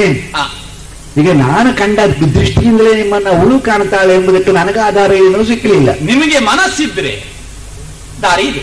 ಒಮ್ಮೆ ಅವರನ್ನು ಕರೆಸಿ. ವಿಚಾರವನ್ನು ತಿಳಿಸಿದಾಗ ನನ್ನ ಭಾಗ್ಯ ನಮಗಿದ್ರೆ ನಾನು ಒಂದು ಹೇಳ್ಬೇಕು. ನಿಮಗೆ ಎಷ್ಟು ಮನೆಗಳಿಗೆಲ್ಲ ಹೋಗಬೇಕಾಗಿದೆಯೋ ಗೊತ್ತಿಲ್ಲ. ನೀವು ಅದನ್ನೆಲ್ಲ ಬಿಟ್ಟು ಇಲ್ಲಿ ಒಂದು ಗಳಿಗೆ ನೀನು ರುಕ್ಮಿಣಿಗೆ ಹೂವು ಮುಡಿಸುವವರೆಗೆ ಆ. ಇಷ್ಟು ನೂರು ಮನೆಯನ್ನಾದ್ರೂ ಹುಕ್ಕು ಹೊರಡು ಆದ್ರೆ ನಾನು ತಂದದ್ದು ಒಂದೇ ಪುಷ್ಪವನ್ನಲ್ವೇ? ಹಾಗಾದ್ರೆ ನನ್ನ ಹೆಂಡತಿಯಾದ ರುಕ್ಮಿಣಿಯು ಆದಷ್ಟು ಬೇಗನೆ ಬಸುರಾಗಲಿ. ಇದಲ್ವ ಇದಲ್ವಾ ನಿಮ್ಗಿದ್ದ ಉದ್ದೇಶ? ಆದಷ್ಟು ಬೇಗ ನಿಮ್ಮ ಕೈಯಲ್ಲಿರುವಂತಹ ಪುಷ್ಪ ಮುಡಿಯೇರ್ಲಿ ಪುಷ್ಪ ಈ ಪುಷ್ಪದಿಂದಲಾಗಿ ಕತೆ ಸ್ವಲ್ಪ ಮುಂದೆ ಹೋಗ್ಲಿ. ರುಕ್ಮಿಣಿ ಒಪ್ಪಿದ್ರೆ ಆದೀತು. ಅವ್ರು ಯಾರೋ ನೋಡ್ತಾ ಇದ್ದಾರೆ ನನ್ನನ್ನು. ಬೇಡ ಅಂತ ಹೇಳಿಬಿಟ್ರೆ. ಬೇಡ ಅಂತ ಹೇಳಿದ್ರೆ ಹೇಳಿದ್ದಾರೆ. ಮತ್ತೆ ಮರೆಯಲ್ಲಿ ನಿಂತು ನೋಡಿ ಮರೆಯಲ್ಲಿ ನಿಂತು ನೋಡುವವರಿಗೆ ಈಗಲೇ ನೀವು ಮರೆ ಹೋದ್ರೆ ಸ್ವಲ್ಪ? ಅಲ್ಲ ಮರೆಗೆ ಹೋದ್ರೆ ಆಗುದಿಲ್ಲ ಆದ್ರೆ ಹಾಗಾಗಬಾರದು. ನಾನು ಹೇಳಿದಂತಹ ವಿಚಾರವನ್ನು ಅರ್ಥೈಸಿಕೊಂಡು ಅದರ ಯೋಗ್ಯತೆಯನ್ನು ಗ್ರಹಿಸಿ ಆಕೆ ಆ ಪುಷ್ಪವನ್ನು ಹೊಂದಿ ಒಮ್ಮೆ ನನ್ನ ಆಶೀರ್ವಾದವನ್ನು ಪಡೆಯಬೇಕು. ಒಳ್ಳಿತು ಸ್ವಾಮಿ.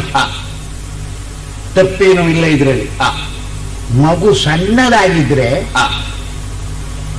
ತಂದೆ ತಾಯಿಗಳಿಗೆ ವಸ್ತ್ರವಿಹೀನತೆ ಬಂದರೂ ದೋಷವಿಲ್ಲ. ನಾನು ಓದಿದ್ದೇನೆ. ನಾನು ಶೃಂಗಾರ ರಸಕ್ಕೆ ಸಂಬಂಧಪಟ್ಟ ಗ್ರಂಥ ಯಾವುದೇ ಇರಲಿ. ಕೊನೆಯ ತನಕ ಓದ್ದೇ ಇರುವುದಿಲ್ಲ. ಆ, ಮಗು ಸಣ್ಣದಾಗಿದ್ದರೆ ಅಂದ್ರೆ ಅದಕ್ಕೆ ಧ್ವನಿ ಬೇರೆ. ಮುಗ್ಧ ಶಿಶುವಾಗಿದ್ದರೆ ನೀವು ಮುಗ್ಧನ? ಮುಗ್ಧನೇ ಹೋಗುದಾಗಿದ್ರೆ ಪಾರಿಜಾತದ ಹೂ. ಅದರಲ್ಲಿ ಒಂದೇ ಹೂ. ನಿಮ್ಮ ಕೈಗೆ ಯಾರು ಸಿಗುತ್ತಿತ್ತು? ಆ. ಆದ್ರಿಂದ ಮುಗ್ಧತೆಯನ್ನು ಬಿಟ್ಟು ಬೇರೆ ಸ್ವಲ್ಪ ಬೆಳೆದಿದ್ದೀರಿ ನೀವು ಅಂತ ಅರ್ಥ. ಒಂದು ವೇಳೆ. ಅಂತಹ ಚಪಲತೆ ಇದ್ರೆ ನೀವು ಆಗೊಮ್ಮೆ ಹೇಳಿದ್ದೀರಿ. ನಾರದಿ ಎನ್ನುವಂತಹ ಶಬ್ದ ಪ್ರಯೋಗ. ಆ ಪ್ರಕರಣ ಚೆನ್ನಾಗಿ ನೆನಪಿದೆ. ಅತ್ರಿ ಅನುಸೂಯರ ಆ ಘಟನೆಯಲ್ಲಿ ನಾನು ನನ್ನತನವನ್ನು ಮರೆತು ಇದ್ದಾಗ ನಾನೇ ಹೆಣ್ಣಾಗಿ ಇದ್ದಂತಹ ಆ ಕತೆ ನೆನಪಿಗೆ ಬರ್ತದೆ. ಆದ್ದರಿಂದ ಯಾವುದೇ ವಿಧವಾದಂತಹ ಚಿತ್ತ ಚಾಂಚಲ್ಯತೆಗೆ ನಾನು ಒಳಗಾಗಿ ಆ ಕಥೆಗಳೆಲ್ಲ ನನಗೆ ಬೇಡ. ನಿಮಗೆ ನೀವೇ ಹೆಣ್ಣುತನವನ್ನು ತಂದುಕೊಂಡದ್ದು. ಹೌದು. ಯಾವ ಗಂಡಸು ಹಾಗೆ ಮಾಡಬಹುದು. ಈ ಸ್ತ್ರೀ ವೇಷವನ್ನು ಧರಿಸುವ ಅಂತಿದ್ದಾರೆ ಕೆಲವರು ಗೊತ್ತಿದೆ ನಮ್ಗೆ?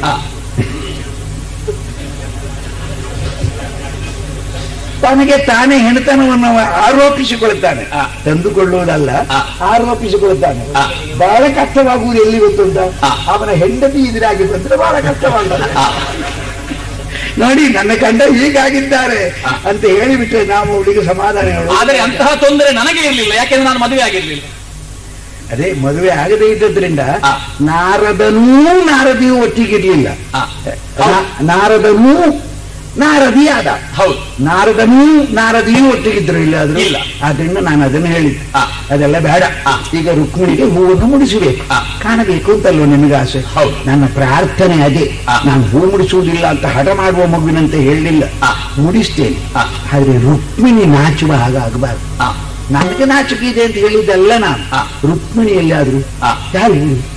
ಯಾರೋ ನಾನು ಹೂ ಹೂ ಮುಡಿಸುವಾಗ ಹಾ. ಅಂತ ತಿಳಿದುಕೊಂಡು ಬಿಟ್ರೆ. ಈ ಹೂ ಮುಡಿಸುವ ಕೆಲಸ ಸಾಗದು ಹಾ. ಅದರಿಂದ ದಯವಿಟ್ಟು. ನೀವು ಮೊದಲೇ ಹೇಳಿದಂತೆ ಸ್ವಲ್ಪ ಬದಿಯಲ್ಲಿ ನಿಲ್ಲುವುದು ಒಳ್ಳೆಯದು ಅಂತ. ನನಗೆ ಕಾಣುತ್ತದೆ ಹೂ ಮುಡಿಸ್ತೇನೆ ಮುಡಿಸ್ತೇನೆ ಸಂದೇಹವೇನು. ಸುರಮುನಿನಾಥವು ಪೋಗಲು ಸುರಮುನಿನಾಥವು ಪೋಗಲು ಹಲಿಯೋಲಗದಿಂದ ಓಲ್ವ ಭರದಿವು ತೆರಳು ತರಾಜಿಪ ಮಣಿ ಮಂದಿರವ ಒಕ್ಕೊಡನೆ ಸತ್ಯಭಾಮೆಗೊರೆಗಳು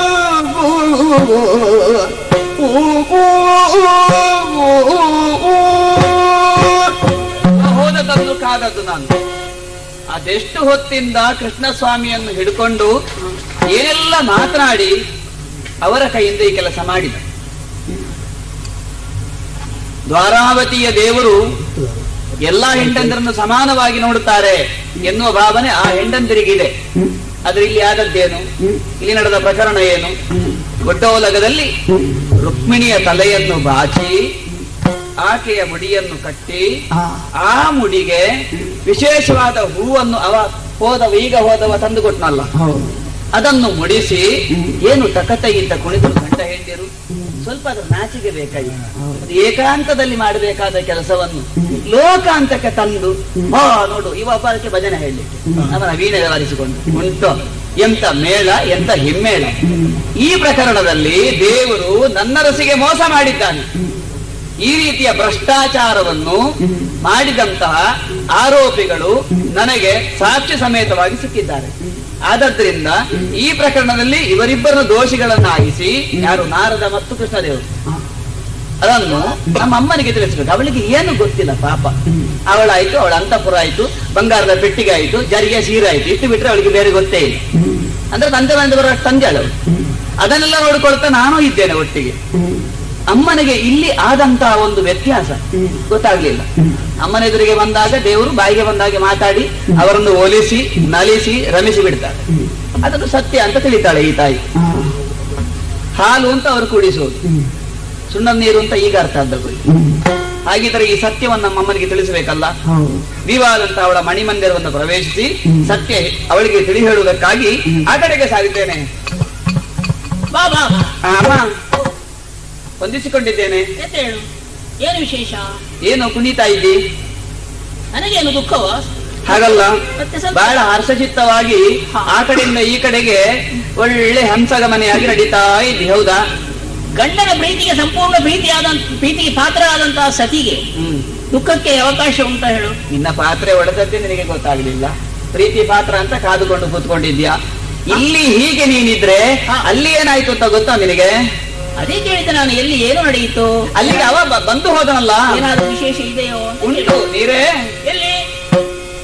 ನಿನಗೆ ಸತ್ಯಭಾಮೆ.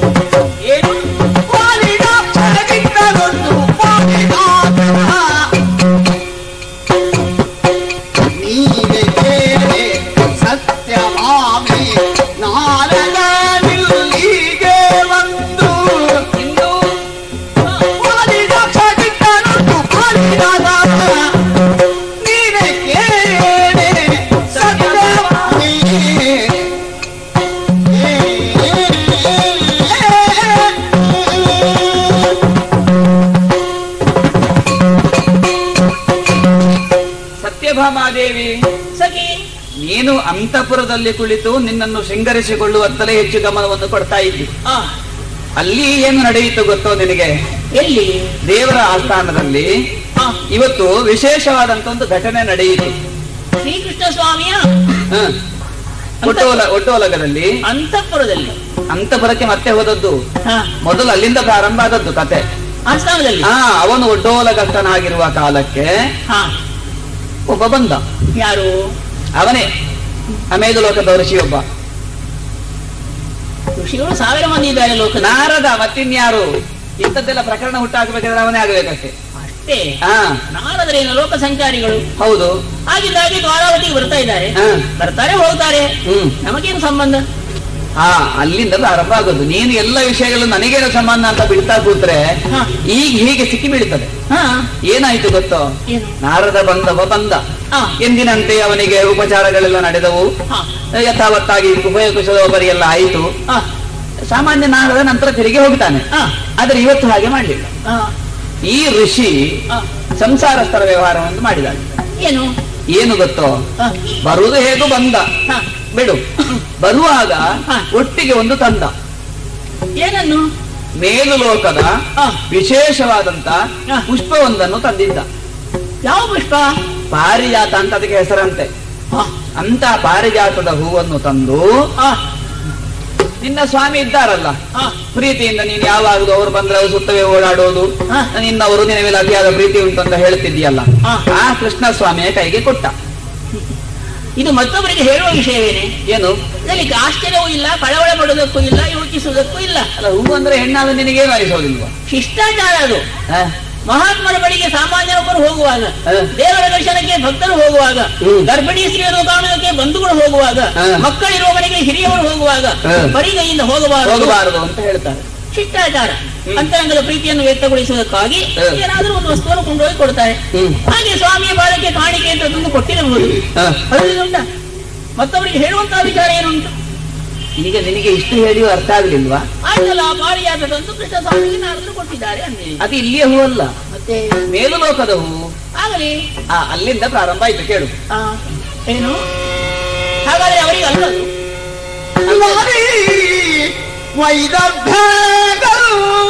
ವೈದಭ್ಯಗಲ್ಲದಿದ್ದಾರಿಗೂ ಯೋಗ್ಯವಲ್ಲೆಂದು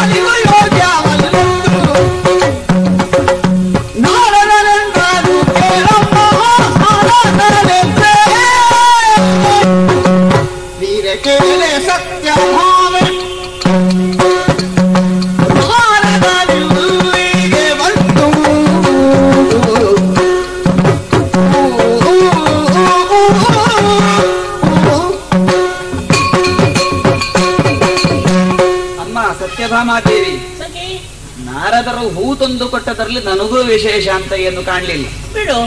ನಾನು ಆ ಬದಿಯಲ್ಲಿ ಹಾದು ಹೋಗುತ್ತಿದ್ದವಳು. ಪರಸ್ಪರ ಇವರೇನೋ ಮಾತಾಡ್ತಾರೆ ಅಂತ ಉಪೇಕ್ಷೆಯಿಂದ ಇದ್ದೆ. ಆದರೆ. ಅಲ್ಲಿ. ಒಂದು ಹೆಸರು ಅಡ್ಡ ಬಂತು. ಏನು? ಈ ಹೂವನ್ನು ತಂದವನು. ನೇರವಾಗಿ ಕೃಷ್ಣನ ಪಾದ ಮೂಲಕ ಅರ್ಪಣೆ ಮಾಡಲಿಲ್ಲ. ಮಾಡ್ತಿದ್ರೆ ಅಲ್ಲಿ ಅರ್ಪಣೆ ಅರ್ಚನೆ ಮುಗಿಯಿತು ಹಾಗಾಗಿ ನಾನು ಚಿಂತೆ ಮಾಡ್ಲಿಕ್ಕೆ ಇರಲಿಲ್ಲ. ಆದ್ರೆ. ತಂದ ಹೂವನ್ನು ಪದ್ಮಾರ್ಚನ ಪದುಮಾಕ್ಷನ ಕೈಗೆ ಕೊಟ್ಟ. ಕೊಟ್ಟ ಮೇಲೆ ಅವನೊಂದು ಅಭಿಪ್ರಾಯವನ್ನು ಮಂಡನೆ ಮಾಡಿದ. ನೋಡು ನೋಡು ಆ ಬ್ರಹ್ಮಚಾರಿಗೆ ಇಂಥದ್ದೆಲ್ಲ ಉಪದ್ವಾಪಗಳು ಯಾಕೆ ಅಂತ. ಅವ ಹೇಳಿದ ಈ ಹೂವನ್ನು ನೀನು. ಇಂಥವರಿಗೆ ಮುಡಿಸಬೇಕು ಅಂತ ಅಭಿಪ್ರಾಯವನ್ನು ಪಟ್ಟ. ಎಂತವರಿಗೆ ನೋಡು ಅಲ್ಲಿ ಮತ್ತೆ ನಿನಗೆ ಆದಂತ ಒಂದು ಮೋಸದ ಬಗ್ಗೆ ಹೇಳುವುದು ನಾನು. ನಾರದ ನಿನ್ನ ಹೆಸರು ಹೇಳಬಹುದು ಅಂತ ನನಗೊಂದು ದೂರದ ಆಶೆ ಇತ್ತು ಹಾಗೆ ನಾನು ನಿಂತದ್ದು. ಈ ಹೂವನ್ನು ಪದ್ಮಾಕ್ಷಣಿಗಲ್ಲ ಹಾ ಸರಸಿಜಾಕ್ಷಣಿಗಲ್ಲ ಅಂತ ಆದ್ರೆ. ಇನ್ಯಾರಿಗೆ ಅಂತ ಪರಮಾತ್ಮ ಕೇಳುವಾಗ? ನಿನಗೆ ಹೇಳ್ಬೋದಿತ್ತಲ್ಲ ಅವನಿಗೆ ನಾರದನಿಗೆ? ಹಾಗಾದ್ರೆ ಕೃಷ್ಣಸ್ವಾಮಿಯ ಪಾದ ಕಾಣಿಕೆ ಆಗಿದ್ದ ವಸ್ತು ಅಲ್ಲ. ಅಲ್ವೇ ಅಲ್ಲ. ಕೃಷ್ಣಸ್ವಾಮಿಯ ಕೈಗಿತ್ತು ಆ ಹೂವಿನ ಕುರಿತಾಗಿ ನಾರದರು ವಿಷಯವನ್ನು ಹೇಳಿದೆ ಹೌದೌದು ಇದು ಕೈ ಕಾಣಿಕೆ. ನಿನಗಲ್ಲ. ನಿನಗಲ್ಲ. ಇದನ್ನು ಧಾರಣೆ ಮಾಡುವುದಕ್ಕೆ ಯೋಗ್ಯಳಾದವಳು ಯಾರೆಂದರೆ.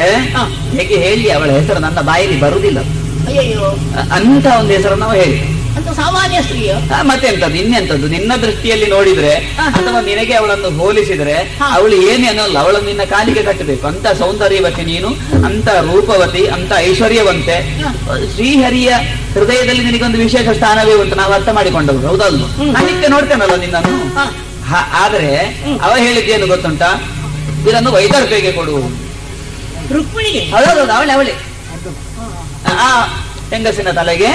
ಮುಡಿಸು ನೀನು ಇದನ್ನು ಅಂತ ಹೇಳಿ. ನೋಡು ಹೀಗೆ ಮಾಡಬಹುದವ ನೀನ್ ಹೇಳ್ತಿ ಪರಮಾತ್ಮನಿಗೆ ನಿನ್ನ ಮೇಲೆ ಬಹಳ ಒಂದು ಪ್ರೀತಿ ಉಂಟು ಅಂತ. ನಾನು ಗ್ರಹಿಸಿದೆ. ನಾರು ನಾರದ ಇದ್ದಾನೆ. ಹಾಗಾಗಿ ಮುಡಿಸ್ಲಿಕ್ಕಿಲ್ಲ. ಈ ಹೂವನ್ನು. ಅವ ಹೇಳಿದ್ರು ಕೂಡ ಅವ ಹೋದ್ಮೇಲೆ ತಂದು ಈಗ ನಿನ್ನ ಅಂತಪುರಕ್ಕೆ ಬರ್ತದೆ ಹಾರಿಕೊಂಡು ಅಂತ ಯೋಚನೆ ಮಾಡಿದ್ದೆ ನಾನು. ಸ್ವಲ್ಪ ಹೊತ್ತು ಕಾದೆ ನಾನು ಮತ್ತೆ ಕೂಡ. ಯಾಕೆಂದ್ರೆ ನಾರದ ಹೇಳಿದ್ರು ಕೂಡ ಪರಮಾತ್ಮ ಏನ ಮೇಲೆ ಎಷ್ಟು ಪ್ರೀತಿ ಇಲ್ಲ ನನಗೆ ಗೊತ್ತಿಲ್ವಾ. ಅಥವಾ ಅದೇನಂತ ನಿನಗೆ ಗೊತ್ತಿಲ್ವಾ? ಹಾಗಾಗಿ ಕಾದ್ರೆ ದೇವಿ ಹಾಗಾಗ್ಲಿಲ್ಲ ಮತ್ತೆ ನಾರದ ಆ ಹೂವನ್ನು ಪರಮಾತ್ಮ ಮುಡಿಸುವಲ್ಲಿವರೆಗೆ ನಿಂತು ನನಗೆ ನಾಚಿಕೆ ಆಗ್ತದೆ. ಯಾಕಂದ್ರೆ ಒಂದು ಗಂಟ ಹೆಂಡತಿ ಒಂದು ಏಕಾಂತದಲ್ಲಿ ಇರುವಾಗ ಮೂರನೇವರು ಹಾಗೆ ಪ್ರವೇಶ ಮಾಡಬಹುದು ನೋಡ್ಬೋದಾ. ನೋಡಬಾರ್ದು. ಆದ್ರೆ ಹೌದಪ್ಪ. ಇವನು ನಾಟಿಗೆ ನಾಚಿಕೆ ಮರ್ಯಾದೆ ಇದ್ದವರು ನೋಡಬಾರದು. ನೋಡಬಾರ್ದು. ಈ ಬ್ರಹ್ಮಚಾರಿಗೆ ಉಂಟದು. ಅಲ್ಲ ಅದರ ಅರ್ಥ ಏನು? ಏನು? ನಾರದರಿಗೆ ನಾಚಿಕೆ ಮರ್ಯಾದೆ ಇಲ್ಲ ಹಾ ಹಾಗಾಗಿ ಬಂದ ಅವರು ನಾಚಿಕೆ ಮರ್ಯಾದೆ ಬಿಟ್ಟವರೇ ಜ್ಞಾನಿಗಳು. ಹಾಗಾಗ್ತಾರ ಹಾಗೆ ಆಗ್ತಾರಾ? ಧಾರಾಳ. ಇರಬಹುದು ಏನೋ ನನಗೆ ಗೊತ್ತಿಲ್ಲ. ಹಾಗಾಗಿ ಅವ ಅದನ್ನು ಕಣ್ಣಾರೆ ನೋಡುತ್ತಾ. ಭಗವಂತ ನೋಡು ಅವಳ ತಲೆಗೂದಲನ್ನು ಬಾಚುವುದೇನು ಸವರುವುದೇನು? ಮುಡಿ ಕಟ್ಟುವಲ್ಲಿ ಸಹಾಯ ಮಾಡುವುದೇನು ಆ ಹೂವನ್ನು ಹೀಗೆ ತೆಗೆದು ಟಕ್ ಅಂತ ಅವನ ಮುಡಿಗೆ ಮುಡಿಸಿದನು ಈ ಕಣ್ಣುಗಳಿಂದ ನಾನಾದ್ರೂ ಹೇಗೆ ನೋಡ್ಲಿ ತಾಯಿ? ಇದು ನಡೆದ ಕಥೆಯ? ಹೌದೌದು ಅವ ಮೇಲಿಂದ ತಂದನಲ್ಲ ಹೂವನ್ನು? ಹಾ. ತಂದು ನಿನಗಾದ್ರೂ ಕೊಡ್ತಿದ್ರೆ? ಮುಚ್ಚುವಾಯ್ ಏನು? ಬಂದೆಯೋ ನೀನು? ಕಾಣದೆ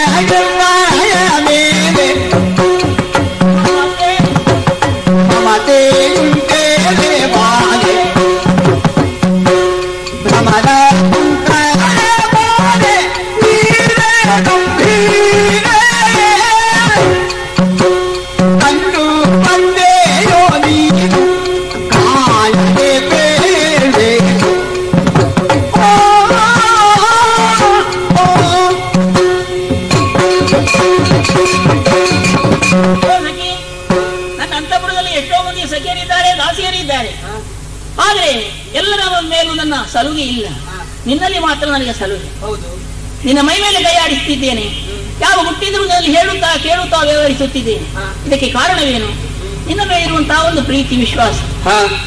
ಸಾಮಾನ್ಯ ಅಶಿಕ್ಷಿತರಾದಂತಹ ಸ್ತ್ರೀಯರಿಗೆ ಒಂದು ಸ್ವಭಾವ ಇರ್ತದೆ. ಏನು? ಈ ಮನೆಯಿಂದ ಆ ಮನೆಗೆ ಹೋಗುದು ಆ ಮನೆಯಿಂದ ಈ ಮನೆಗೆ ಬರುವುದು. ಹೌದು. ಏನಾದ್ರೂ ಆ ಮನೆಯ ಸುದ್ದಿಯನ್ನು ಈ ಮನೆಗೆ ಹೇಳುದು ಈ ಮನೆಯ ಸುದ್ದಿಯನ್ನು ಮತ್ತೊಬ್ಬರಿಗೆ ಹೇಳುದು ನಾನಂತವಳಲ್ಲ. ಅದಕ್ಕೆ ಚಾಡಿ ಅಂತ ಹೇಳ್ತಾರೆ. ಅದರಿಂದ ಅವರಿಗೆ ಪ್ರಯೋಜನ ಏನೂ ಇಲ್ಲ. ಅದರ ನಾಲಿಗೆ ತುಳಿತದೆ. ಪರಿಣಾಮ ಏನಾಗ್ತದೆ? ಏನು? ಅದರಲ್ಲಿ ಗೃಹ ಕಲಹ ಉಂಟಾಗ್ತದೆ ಹೆಂಗಸರಿಗೆ ಮಾತ್ಸರ್ಯ ಉಂಟಾಗಿ ಸಂಸಾರ ಮನೆತನ ಕೆಟ್ಟು ಹೋಗ್ತದೆ ಆದ್ದರಿಂದ ಒಂದು ಮಾತನ್ನು ಮತ್ತೊಬ್ಬರಿಗೆ ಹೇಳಬೇಕಾಗಿದ್ದರೆ ಅದನ್ನು ಸರಿಯಾಗಿ ತಿಳಿದುಕೊಳ್ಳಬೇಕು. ಮತ್ತೊಬ್ಬರಿಂದ ಮತ್ತೊಬ್ಬರಿಗೆ ಕೇಳಿದ ಮಾತನ್ನು ನಾವು ಇನ್ನೊಬ್ಬರಿಗೆ ಹೇಳುವುದಲ್ಲ. ನಮ್ಮ ಕಣ್ಣಿಂದ ಕಂಡಂತಹ ಘಟನೆಯನ್ನು ನಮ್ಮ ಕಿವಿಯಿಂದ ಸ್ಪಷ್ಟವಾಗಿ ಕೇಳಿದಂತಹ ವಿಚಾರವನ್ನು ಮತ್ತೊಬ್ಬರಿಗೆ ಹೇಳಬೇಕು. ಯಾಕೆ ಏಕೆ ತಿಳಿದವರು ಒಂದು ಪ್ರತ್ಯಕ್ಷ ಪ್ರಮಾಣ ಅಂತ ಹೇಳ್ತಾರೆ. ಹೊರತು ಅಲ್ಲ ಹಾಗಾಯ್ತಂತೆ ಇಲ್ಲಿ ಹೀಗಾಯ್ತಂತೆ ಅಂತೆ ಕಂತೆಗಳ ಸಂತೆ ಹೇಳಬಾರ್ದು. ತಿಳಿಯಿತಾ. ಆದ್ದರಿಂದ ಕೇಳ್ತಾ ಇದ್ದೀನಿ ಏನು? ನಿನ್ನ ಮಾತನ್ನು ಕೇಳುತ್ತಾ ಇದ್ರೆ ಇದು ನಡೆಯುವುದಕ್ಕೆ ಸಾಧ್ಯವೇ ಇಲ್ಲ ಎಂಬ ಸಂದೇಹ ನನಗೆ ಬರ್ತಾ ಉಂಟು. ದೇವಲೋಕದಿಂದ ನಾರರು ಬಂದರು. ಬರುವಾಗ ಪಾರಿಜಾತವರು ತಂದರು ಒಂದೇ ಒಂದೇ ಹೂ ತಂದರು ಒಂದೋ ಹತ್ತೋ ಪ್ರಶ್ನೆ ಅಲ್ಲ. ಮುನಿಗಳಾದವರು ಹೂಗಳನ್ನು ಕೈಯಲ್ಲಿ ಹಿಡಿದುಕೊಳ್ಳುವುದಿಲ್ಲ ಹಿಡಿದುಕೊಳ್ಳಬಾರದು ಹಾ. ಪರಿಮಳ ದ್ರವ್ಯಗಳು ಮುನಿಗಳು ಮೈಗೆ ಪೂಜಿಕೊಂಡರೆ ಕೈಯಲ್ಲಿ ಹಿಡಿದುಕೊಂಡ್ರೆ. ಅವರ ಮುನಿತನಕದ ವಿರೋಧ. ಅವರು ಮುನಿಗಳಲ್ಲ ಎಂಬುದೇ ಸ್ಪಷ್ಟ. ಆದ್ದರಿಂದ. ನಾರದರು ಹೂವನ್ನು ಹಿಡಿದುಕೊಂಡಿದ್ದಾರೆ ಎಂಬುದೇ ಸುಳ್ಳು. ತಂದಿದ್ದಾರೆ ಎಂಬುದು ಸಂಶಯಕ್ಕೆ ಕಾರಣ ಆಮೇಲೆ ಒಂದೇ ಹೂ ಹ್ಮ್. ರುಕ್ಮಿಣಿಯ ಕೊಡು ಅಂದ್ರು ಹ್ಮ್. ಮೇಲೆ ಅವರಿಗೇನು ಮತ್ಸರವೋ ದ್ವೇಷ ಅದೇ ಕೇಳುತ್ತಾನೆ ನಾನು ಆ ಮಾತನ್ನು ಕೇಳಿ. ವಾದಿಸದೆ ಹಾ. ಸತ್ಯಭಾಮಿಗೆ ಯಾಕೆ ಇನ್ನ ಇನ್ನೊಬ್ಬಳಿಗೆ ಮುಡಿಸಬಾರದು ಯಾಕೆ ಅಂತ ಕೇಳಿಲ್ಲ. ಸ್ವಾಮಿ ನೇರಾಗಿ ರುಕ್ಮಿಣಿಗೆ ಮುಡಿಸಿದ್ದಾರೆ ಹೌದು ಎಷ್ಟು ಉದ್ದದ ಕಥೆ ಇದು. ಅವ ಅದರ ಚಂದ ನೋಡಿ ಕುಣಿತಾ ಇದ್ದ. ನೀನು ಎಷ್ಟು ಹೇಳಿದ್ರು ಇದನ್ನ ನಾನು ನಂಬುದಕ್ಕೆ ಸಾಧ್ಯ ಇಲ್ಲ. ಯಾವ ಸತಿಗೆ. ಅಂದ್ರೆ ಹೆಂಡತಿಯಾದವಳಿಗೆ. ಗಂಡನಲ್ಲಿ ಜಲವಾದ ವಿಶ್ವಾಸ ಪ್ರೀತಿ ಪ್ರೇಮ ಇರ್ತದೋ ಇದೆಯೋ ಅಂತವರು. ಸಿಕ್ಕಿದವರ ಮಾತನ್ನೆಲ್ಲ ಕೇಳಿ ಗಂಡನಲ್ಲಿ ಜಗಳಾಡುವುದಿಲ್ಲ.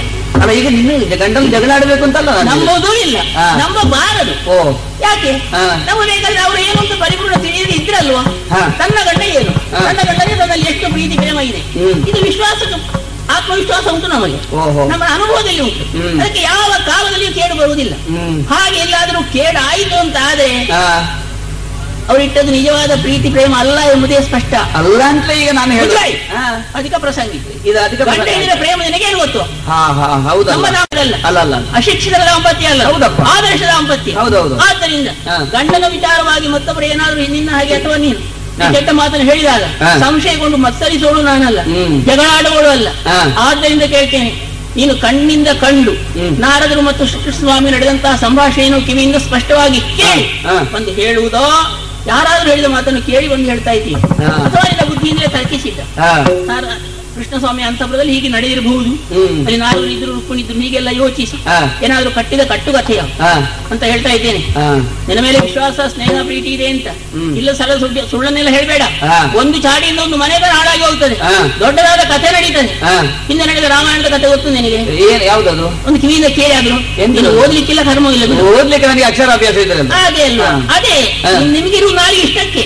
ನೀವು ಓದಿ ಹೇಳುದಲ್ಲ ತಿಳಿದು ಹೇಳುದಲ್ಲ ಕೇಳಿ ಕೇಳಿ. ಕೆಲವರಿಗೆ ಹೇಳುದು ಕೆಲವು ಕೇಳಿ ಆ, ಕೆಲವು ಕಂಡು? ರಾಮಾಯಣದ ಅದೆಲ್ಲ ಬೇಡ. ರಾಮಾಯಣದ ಕಥೆ ಯಾರಿಂದ ನಡೆದದ್ದು? ಯಾರಿಂದ? ಏನಾದ್ರು ಹೇಳ್ಬೋದು ಲೋಕದ ಅವರಿಂದ ಇವರಿಂದ ಹಾಗಾಯ್ತು ಹೀಗಾಯ್ತು. ಯಾರಿಂದಲೂ ಅಲ್ಲ. ಮತ್ತೆ ಯಾರಿಂದ? ಅಶಿಕ್ಷಿತಳಾದ ಕೆಟ್ಟವಳಾದಂತಹ ಮಂತರೆಯ ಎರಡು ನಾಲಿಗೆ ಚಾಡಿಯ ಮಾತಿ ಎರಡು ನಾಲಿಗೆ? ರಾಮಾಯಣ ನಡೆಯುತ್ತೆ. ಇಲ್ಲವಾದ್ರೆ ರಾಮ ಕಾಡಿಗೆ ಹೋಗುವುದಿಲ್ಲ ರಾಮಾಯಣ ನಡೆಯುವುದಿಲ್ಲ. ಅದರಿಂದ ಕೈಕೆಯ ಕೆಟ್ಟ ಬುದ್ಧಿಯೂ ಅಲ್ಲ. ಅವಳನ್ನು ಕೆರಳಿಸಿ ಉಳಿಯುವುದು. ಇಲ್ಲ ವಿದ್ಯೆ ಇಲ್ಲ ಶಾಸ್ತ್ರ ಪೂರ್ಣ ಏನು ಗೊತ್ತಿಲ್ಲ. ಏನು ಗೊತ್ತಿಲ್ಲ ನಾಳೆಗೆ ನೋಡು. ಈ ಚಾಡಿ ಚಾಡಿ ಅಂದ್ರೆ ಸಾಮಾನ್ಯ ಅಲ್ಲ ಒಂದೊಂದು ಕುಟುಂಬ ಅಲ್ಲ ಒಂದು ದೇಶ ಹಾಳಾದ ಒಂದು ಚಾಡಿಯಿಂದ. ದೊಡ್ಡ ದೊಡ್ಡ ಅರಮನೆಗಳು ಒಂದೊಂದು ಚಾಡಿಯಿಂದ ಮೋಸದಿಂದ ಹಾಳಾಗಿ ಹೋದ್ರು. ಆದ್ದರಿಂದ ಹೇಳುವಾಗ ಎಚ್ಚರಿಕೆ ಇರಬೇಕು ನಮ್ಮ ಸಂಸಾರ ಕಳಿಸಬೇಡ.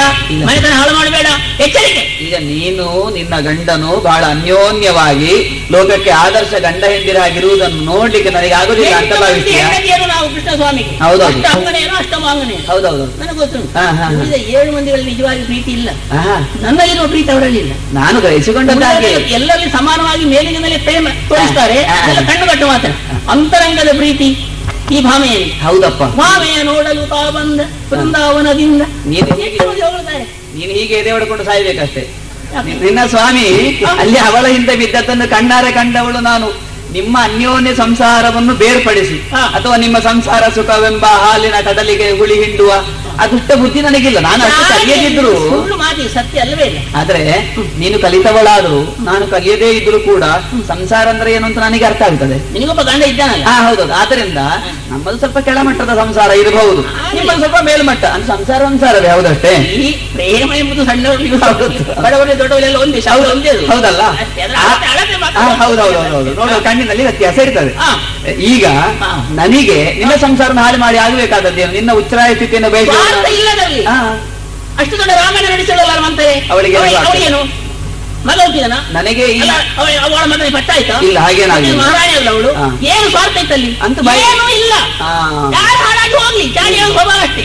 ಅದ್- ನೋಡಿ ಕೆಲಸ ಸುಖ ಪಡು ಸಂತೋಷ ಪಡು ಇಲ್ಲಿ ನಿಮ್ಮ ಸಂಸಾರದ ಸುಖವನ್ನು ಕೆಡಿಸಿ ನಾನು ಸುಖ ನನಗೇನು ಲಾಭ? ಏನಿಲ್ಲ ಚಾಡಿಯವರಿಗೆ ಲಾಭ ಬೇಡ. ಅಲ್ಲ, ಸ್ವಭಾವ ಹಣೆ ಬಾರ. ಆದ್ರೆ ನಿನ್ನ ಸಂಸಾರ ಬೀದಿ ಪಾಲಾಗಬಾರ್ದಲ್ಲ. ನನ್ನ ಉದ್ಧಾರ ನೀನು ಮಾಡುದು ಬೇಡ. ಅಲ್ಲ ನಾನು ನಿನ್ನ ಅಂತರಂಗದ ಸಖಿ. ಬದುಕಿರುವುದು ಬೇಡ. ಅಲ್ಲ, ನಾನು ನಿನ್ನ- ಸ್ವಾಮಿ ಗಂಡನಾಗಿದ್ದಾರೆ ಅವರ ಹೆಂಡತಿ ನಾನು. ನೀನು ನನ್ನ ಉದ್ಧಾರ ಇರಬೇಕು ಅಲ್ಲ ಹಾಗಲ್ಲ ನಾನು ನಿನ್ನ ಅಂತರಂಗದ ಸಖಿಯಾಗಿರುತ್ತಾ? ಸಖಿಯಾಗಲಿ ಸಖಿಯ ಸ್ಥಾನದಲ್ಲಿ ಇರಬೇಕು. ದಾಸಿಯ ಸ್ಥಾನದಲ್ಲಿ ಇರಬೇಕು. ನಿನಗೆ ಕೆಟ್ಟ ಸ್ಥಾನ ಬಂದ್ರೆ? ಅದು ನನಗೆ ಬೇಸರ. ನನಗೆ ಬಂದ್ರೆ ಬರಲಿ ಅನುಭವಿಸ್ತೇನೆ. ಅಲ್ಲ ಜೊತೆಗೆ ನನಗೂ ಬರ್ತದಲ್ಲ? ನನ್ನ ಸುಳ್ಳು ಹೇಳಬೇಡ ಇಲ್ಲ ಇಲ್ಲ ಸುಳ್ಳಿಲ್ಲ. ಅದುಂಟು. ನೋಡಿದ್ದೇನೆ. ಹಾ ಅದು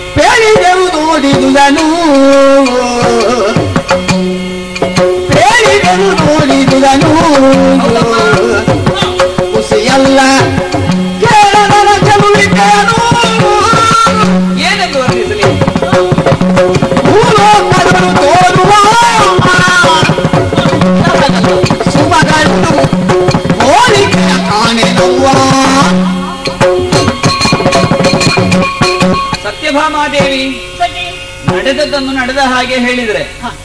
ಸಿಟ್ಟು ಬರ್ತದೆ ಅಂತ ನಮ್ಮಲ್ಲಿ ಒಂದು ನಾಡ ನುಡಿ ಉಂಟು. ಅಲ್ಲ ಇದು ಸತ್ಯ ಅಂತಾದ್ರೆ ಹಾ. ಸತ್ಯ ಅಲ್ಲ ಅಂತ ನನ್ನ ವಾದ. ನಿನಗೆ ದೃಢಪಡಿಸುತ್ತೇನೆ. ಸಂಶಯದ ತೂಗುಲ್ಲ ತೂಗಿಯಾಲೇರಿತ್ತು ನೀನು. ಅದು ಓದಿದುವು ಅಂತ. ನನ್ನ ಗಂಡ ಮೋಸ ಅಂತ ನಿನ್ನ ಹಾಗೆ. ಉಳಿದ ಏಳು ಹೆಂಡತಿಯರು ಬಯಸಿದ್ರು ಎಲ್ಲ ರಾಶಿಯು ಭಗ್ನವಾಗ್ತದೆ ಈ ಸಲ. ಉಳಿದವರ ಸ್ಥಾನ ಅದೇ ನಿನ್ನ ಸ್ಥಾನ ಬಹಳ ಎತ್ತರವಾದದ್ದು. ಆದ್ರೆ ನಿನ್ನನ್ನು ಎತ್ತರಕ್ಕೆ ಕರ್ಕೊಂಡು ಹೋಗಿ. ದೇವರು ದೂಡಿ ಕೆಳಗೆ ಹಾಕಿದ ಅಂತ ಅನಿಸ್ತದೆ ನನಗೆ. ನಂಬಿದವರಿಗೆ ಅಂತದ್ದು ಬರುವುದಿಲ್ಲ ಬಿಡು. ಬರುವುದಿಲ್ಲ. ಆದ್ರೆ ನಿನ್ನ ಪ್ರಸಂಗದಲ್ಲಿ ಹೀಗಾಯ್ತು ನೋಡು. ಆ ಹೂವನ್ನು ಹೂವನ್ನು ನೋಡಿದ್ದೇನೆ. ಅದನ್ನು ತಂದವನು ಭಗವಂತನಿಗೆ ಅದರ ವಿವರಣೆಯನ್ನು ಕೊಟ್ಟಿದ್ದಾನೆ. ಹಾ ಬಹಳ ಚಂದ ಇದೆಯಮ್ಮ ನೋಡುವುದಕ್ಕೆ. ದರೆಯೊಳಗುಳ್ಳ ಯಾವುದೇ ಹೂಗಳು. ಹೋಲಿಸಲಿಕ್ಕೆ ಅಂತ ತಂದ್ರು ಅದಕ್ಕೆ ಸಮವಲ್ಲ. ಅಯ್ಯೋ ಅದನ್ನ ಹೇಳ್ಬೇಕಾದಿಲ್ವೇ ದೇವಲೋಕದಲ್ಲಿರುವಂತಹ ಒಂದು ಕಸಕ್ಕಾದ್ರೂ ಅರ್ಹತೆ ಉಂಟು. ಉಂಟು. ಅದು ಭೂಲೋಕದಲ್ಲಿ ಇಲ್ಲ. ಭೂಲೋಕದಲ್ಲಿ ಇರುವಂತಹದ್ದು ದೇವಲೋಕದಲ್ಲಿ ಇಲ್ಲ. ಉಂಟದು. ಹೌದು. ಶುಭ್ರವಾದ ಕವಳ ಕಾಂತಿಯಿಂದ ಕೂಡಿರುವ ಕಣ್ಣಿನ ಕಣ್ಣಿನ ಖಂಡಿತ ಖಂಡಿತ ಎಂಬುದಕ್ಕೆ ಒಂದು ಆಧಾರ ಸಹ ಹೌದು ಆ ಸುಮವನ್ನು ಭಗವಂತ ರುಕ್ಮಿಣಿಯ ತಲೆಗೆ ಮುಡಿಸುವಂತ ವಿಚಾರವನ್ನು ಮೂಡಿಸಿದ ವಿಷಯ ಅಲ್ಲ. ಆ, ವಸ್ತು ಹೇಗೆ ಅಂತ ನಾನು ಕೇಳಿದ್ದು. ನೀನು ಖಂಡಿತ ಖಂಡಿತ ಅಂದಿಯಲ್ಲ ಹೌದೌದು. ನಾರದರಿಗೂ ಕೃಷ್ಣ ಸ್ವಾಮಿ ನಡೆದ ಸಂಭಾಷಣೆ ಮತ್ತೆ ಮಧ್ಯೆ ನೋಡಿದ್ದೆ ನಾವು ಹೌದೌದು. ನೋಡಿದ್ದು ಇವರಿಗೆ ಪ್ರಪಂಚದಲ್ಲಿ ಇಲ್ಲದ ಪುಷ್ಪ ಅದು. ಇಲ್ಲದ ಪುಷ್ಪ. ಸ್ವರ್ಗಲೋಕದಲ್ಲಿ ಇರುವಂತಹ ಇರುವಂತ ಪುಷ್ಪ. ಕಂಡವರು ಯಾರೂ ಇಲ್ಲ. ಪಂಚದಳಗಳಿಂದ ಕೂಡಿದ. ಇನ್ನು ನೀನು ನೋಡಿದ್ಯಾ ಹೌದೌದು. ಆದ್ದರಿಂದ ನೋಡಿದ್ದೇನೆ. ಇದೀಗ ಬೇಕಾದ ಸಾಕ್ಷಿ. ಹೌದು. ಕೇವಲ ಉತ್ತರ ಕೊಡು. ಹೌದು. ಪಾರಿಜಾತ ಹೌದು. ಆ ಕಾಲದಲ್ಲಿ ಎಷ್ಟು ದೊಡ್ಡದಾಗಿದೆ ಒಂದು ಐದು ದಳಗಳಿಂದ ಕೂಡಿದೆ. ಇಷ್ಟು ದೊಡ್ಡದು ಇರಬಹುದು. ಸರಿ ಬಣ್ಣ ಏನು? ಬಣ್ಣ ಶುಭ್ರ ಧವಳ ಕಾಂತಿ. ಒಂದೇ ಬಣ್ಣವಾ? ಒಂದೇ ಬಣ್ಣದಿಂದ ಕೂಡಿದ್ದದು. ಬಿಳಿ? ಹೌದಾ? ಸರಿ. ಹೂವಿಗೆ ಬಣ್ಣ ಮುಖ್ಯ ಅಲ್ಲ. ಹೆಣ್ಣಿಗೆ ದೇಹದ ಬಾಯಿಯ ಸೌಂದರ್ಯ ಮುಖ್ಯ ಅಲ್ಲ. ಮುಖ್ಯ ಅಲ್ಲ. ಅಂತರಂಗದ ಗುಣ ಧರ್ಮ ಮುಖ್ಯ. ಅವಳಿಗೆ ಹೆಂಗಸು ಅಂತ ಹೆಸರು. ಹೌದು. ಪರಿಮಳ ಇಲ್ಲದ ಪುಷ್ಪವನ್ನು ಯಾರೂ ಪೂಜಿಸುವುದಿಲ್ಲ. ಗೌರವಿಸುವುದಿಲ್ಲ. ಈ ಹೂವಿಗೆ ಬಣ್ಣ ಮಾತ್ರವೋ ಪರಿಮಳ ಇದೆಯೋ? ಪರಿಮಳವೂ ಇದೆ. ಹೇಗಿದೆ? ಪರಿಮಳವು ಕುಂದದಂತೆ. ಪರಿಮಳವು ಕುಂದದಂತೆ. ಆಮೇಲೆ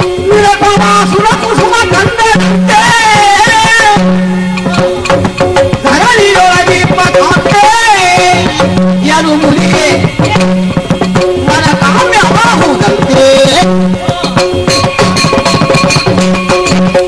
ಈ ಹೂವು ವಿಶೇಷವಾದ ಪರಿಮಳದಿಂದ ಕೂಡಿದೆ. ಅಂತಹ ಅಂತ ಸುವಾಸನೆ ಬೇರೆ ಯಾವುದರಲ್ಲೂ ಇರ್ಲಿಕ್ಕೆ ಸಾಧ್ಯ ಇಲ್ಲ.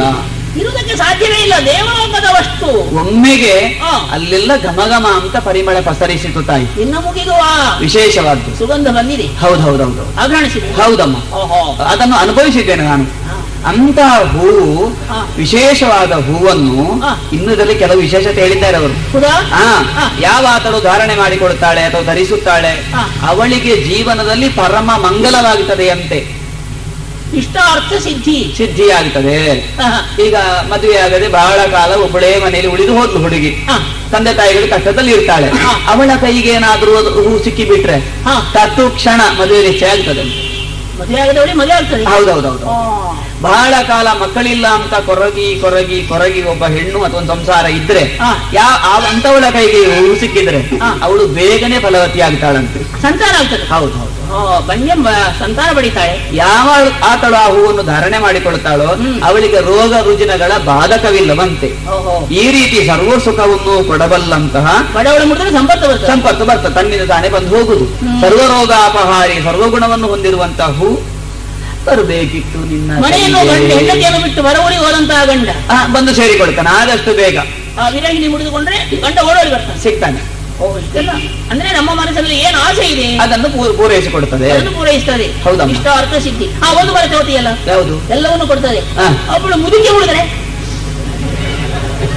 ಮುದುಕಿ ಮುಡುದ್ರೆಯ? ಹೌದು ಅವಳಿಗೆ ಏನು ಆಸೆ ಇರ್ತದೆ? ಅವಳಿಗೆ ಮೋಕ್ಷ ಆಕಾಂಕ್ಷಿ. ಆ, ಅದು ಸಿಗ್ತದೆ. ಹಾಗಾದ್ರೆ ನೀನು ತಪಸ್ಸು ಮಾಡಬೇಕಾಗಿಲ್ಲ? ಇಲ್ಲ. ಹೂ ಇದ್ರೆ ಆಯ್ತು. ಮೋಕ್ಷ. ಹೌದಮ್ಮ.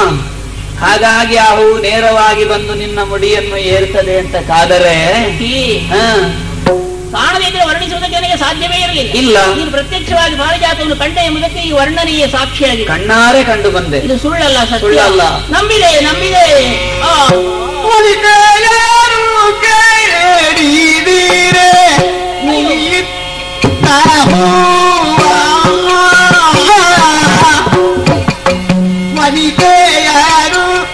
Hey!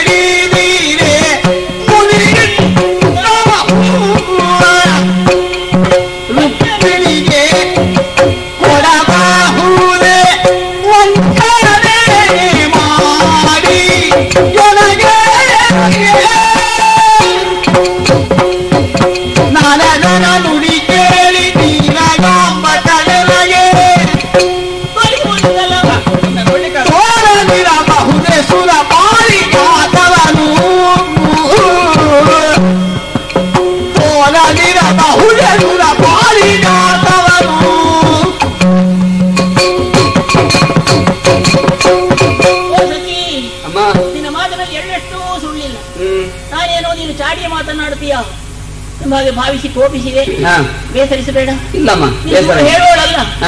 ಸತ್ಯ ಎಂಬುದಕ್ಕೆ ಆಧಾರ ಸಿಕ್ಕಿದಲ್ಲ ಹಾಗಾದ್ರೆ ನಿನ್ನ ಮಾತಿನಂತೆ ನಾರದರು ಬಂದುದು ಹೌದು. ಹಾ. ಪಾರಿಯಾದವು ತಂದುದು ಹೌದು. ಕೃಷ್ಣಸ್ವಾಮಿಗೆ ಕೊಟ್ಟು ರುಕ್ಮಿಣಿಗೆ ಮುಡಿಸಿದ್ದು ನಿಜ. ಇಷ್ಟನ್ನು ನೀನು ಕಣ್ಣಿಂದ ಕಂಡು ಬಂದವನು. ಆಹಾ. ಇದು ನಿಜ ಅಂತ ಆದ್ರೆ ಅಯ್ಯೋ ನೀನನ್ನಂತೆ ನನ್ನ ಪಾಡೇನು? ನಾನು ಎಣಿಸಿದ್ದೇನು ಇಲ್ಲಿ ಆದುದೇನು? ಆದುದೇನು? ಸಾಮಾನ್ಯವಾದಂತಹ ಒಂದು ವಸ್ತು ಆದ್ರೆ. ಅದರ ಕುರಿತು ಮತ್ಸರ ಇಲ್ಲ ಜಗಳಾಡುವುದಕ್ಕೇನೂ ಇಲ್ಲ. ಇಲ್ಲ. ಇದು ದೇವಲೋಕದ ಪಾರಿಯಾತ ಅದರಲ್ಲಿ ಮಾರುವರು ತಂದಿದ್ದಾರೆ. ಮತ್ತೆ? ಆ ದೇವಲೋಕದ ವಸ್ತುವನ್ನು ಕಣ್ಣಿಂದ ಕಾಣಬೇಕಿದ್ರೆ. ಕೈಯಿಂದ ಮುಟ್ಟಬೇಕಾಗಿದ್ರೆ ಹಾಗೆ ತಲೆಯಲ್ಲಿ ಇಟ್ಟುಕೊಳ್ಳಬೇಕಾಗಿದ್ರೆ ಆ ಹೆಣ್ಣಿಗೆ ಭಾಗ್ಯ ಯೋಗ ಬೇಕು. ಮತ್ತೆ? ತಪಸ್ಸು ಮಾಡಿದ್ರೆ ಸಿಗುವಂತಹದ್ದಲ್ಲ. ಅದರಲ್ಲಿ ನಾಶವಿಲ್ಲದ ವಸ್ತು. ಮತ್ತೆ? ಇಷ್ಟಾರ್ಥ ಸಿದ್ಧಿಯಾಗುವಂತಹ ವಸ್ತು. ಅಂತ ಒಂದು ಹೂ. ಸಖಿ. ಏನು? ಸಖಿವಾಗಿ ಯಾಕೆ ಕೊಡಬಾರದು? ಯಾಕೆ ಕೊಡಬಾರದು? ಕೃಷ್ಣಸ್ವಾಮಿ ಕೇಳಲೇ ಇಲ್ಲ. ಕೇಳಿಲ್ಲ. ಯಾರಿಗೆ ಕೊಡಬೇಕು ಅಂತ ಹೇಳಿ? ಅದರಲ್ಲಿಯೂ ಪಾರಿಜಾತವನ್ನು ಉಳಿದುಕೊಳ್ಳಬೇಕಾಗಿದ್ರೆ ಹೆಣ್ಣಿನಲ್ಲಿ ಸರಿಯಾದಂತಹ ಅರ್ಹತೆ ಇರಬೇಕು. ಅರ್ಹತೆ ಅದನ್ನ ಅದನ್ನ ಕೇಳಿದವ ಪದೇ ಪದೇ ಕೇಳಿದ ಅರ್ಹತೆ ಏನು ಅಂತ ಕೇಳಿದ ಅದಕ್ಕೆ ಏನು ನಾರ ಹೇಳಿದ್ರು? ನಾರಿ ವೈಧರ್ಭೆ ಅಲ್ಲದೆ ಬೇರೆ ಯಾರು ಆಗ್ಲಿಕ್ಕೆ ಎಂಟು ಮಂದಿಯಲ್ಲಿ ಗೌರವ ಇರುವುದು ಅರ್ಹತೆ ಇರುವುದು ರುಕ್ಮಿಣಿಯಲ್ಲಿ ಮಾತ್ರ. ಬಾಕಿ ಅವರಲ್ಲಿ ಕಡಿಮೆ ಉಂಟು ಅಂತ ಅರ್ಥ ಅಲ್ವಾ ಅದು? ಅಲ್ವಾ? ಹಾ ಮತ್ತೆ? ಹಾಗಾದ್ರೆ ಇದರಿಂದ ನಿಜವಾಗಿ ನನ್ನ ಮಾನಹಾನಿಯೇ ಹೌದು ಕೂಲೇಗೂ ರುಕ್ಮಿಣಿಯ ವಶವಾಯಿತು. ಒಂದು ಕಣ್ಣಲ್ಲಿ ನೋಡ್ಲಿಕ್ಕೆ ಆದ್ರೂ ತರ್ಬೋದಿತ್ತಲ್ಲ ಸ್ವಾಮಿಗೆ? ನಿಜವಾಗಿ ಹೆಂಡತಿಯಲ್ಲಿ ಪ್ರೀತಿದ್ದಂತಹ ಗಂಡ ಪ್ರೇಮ ಇದ್ದಂತಹ ಪತಿಯಾದವು ವಂಚನೆ ಮಾಡುವುದಿಲ್ಲ.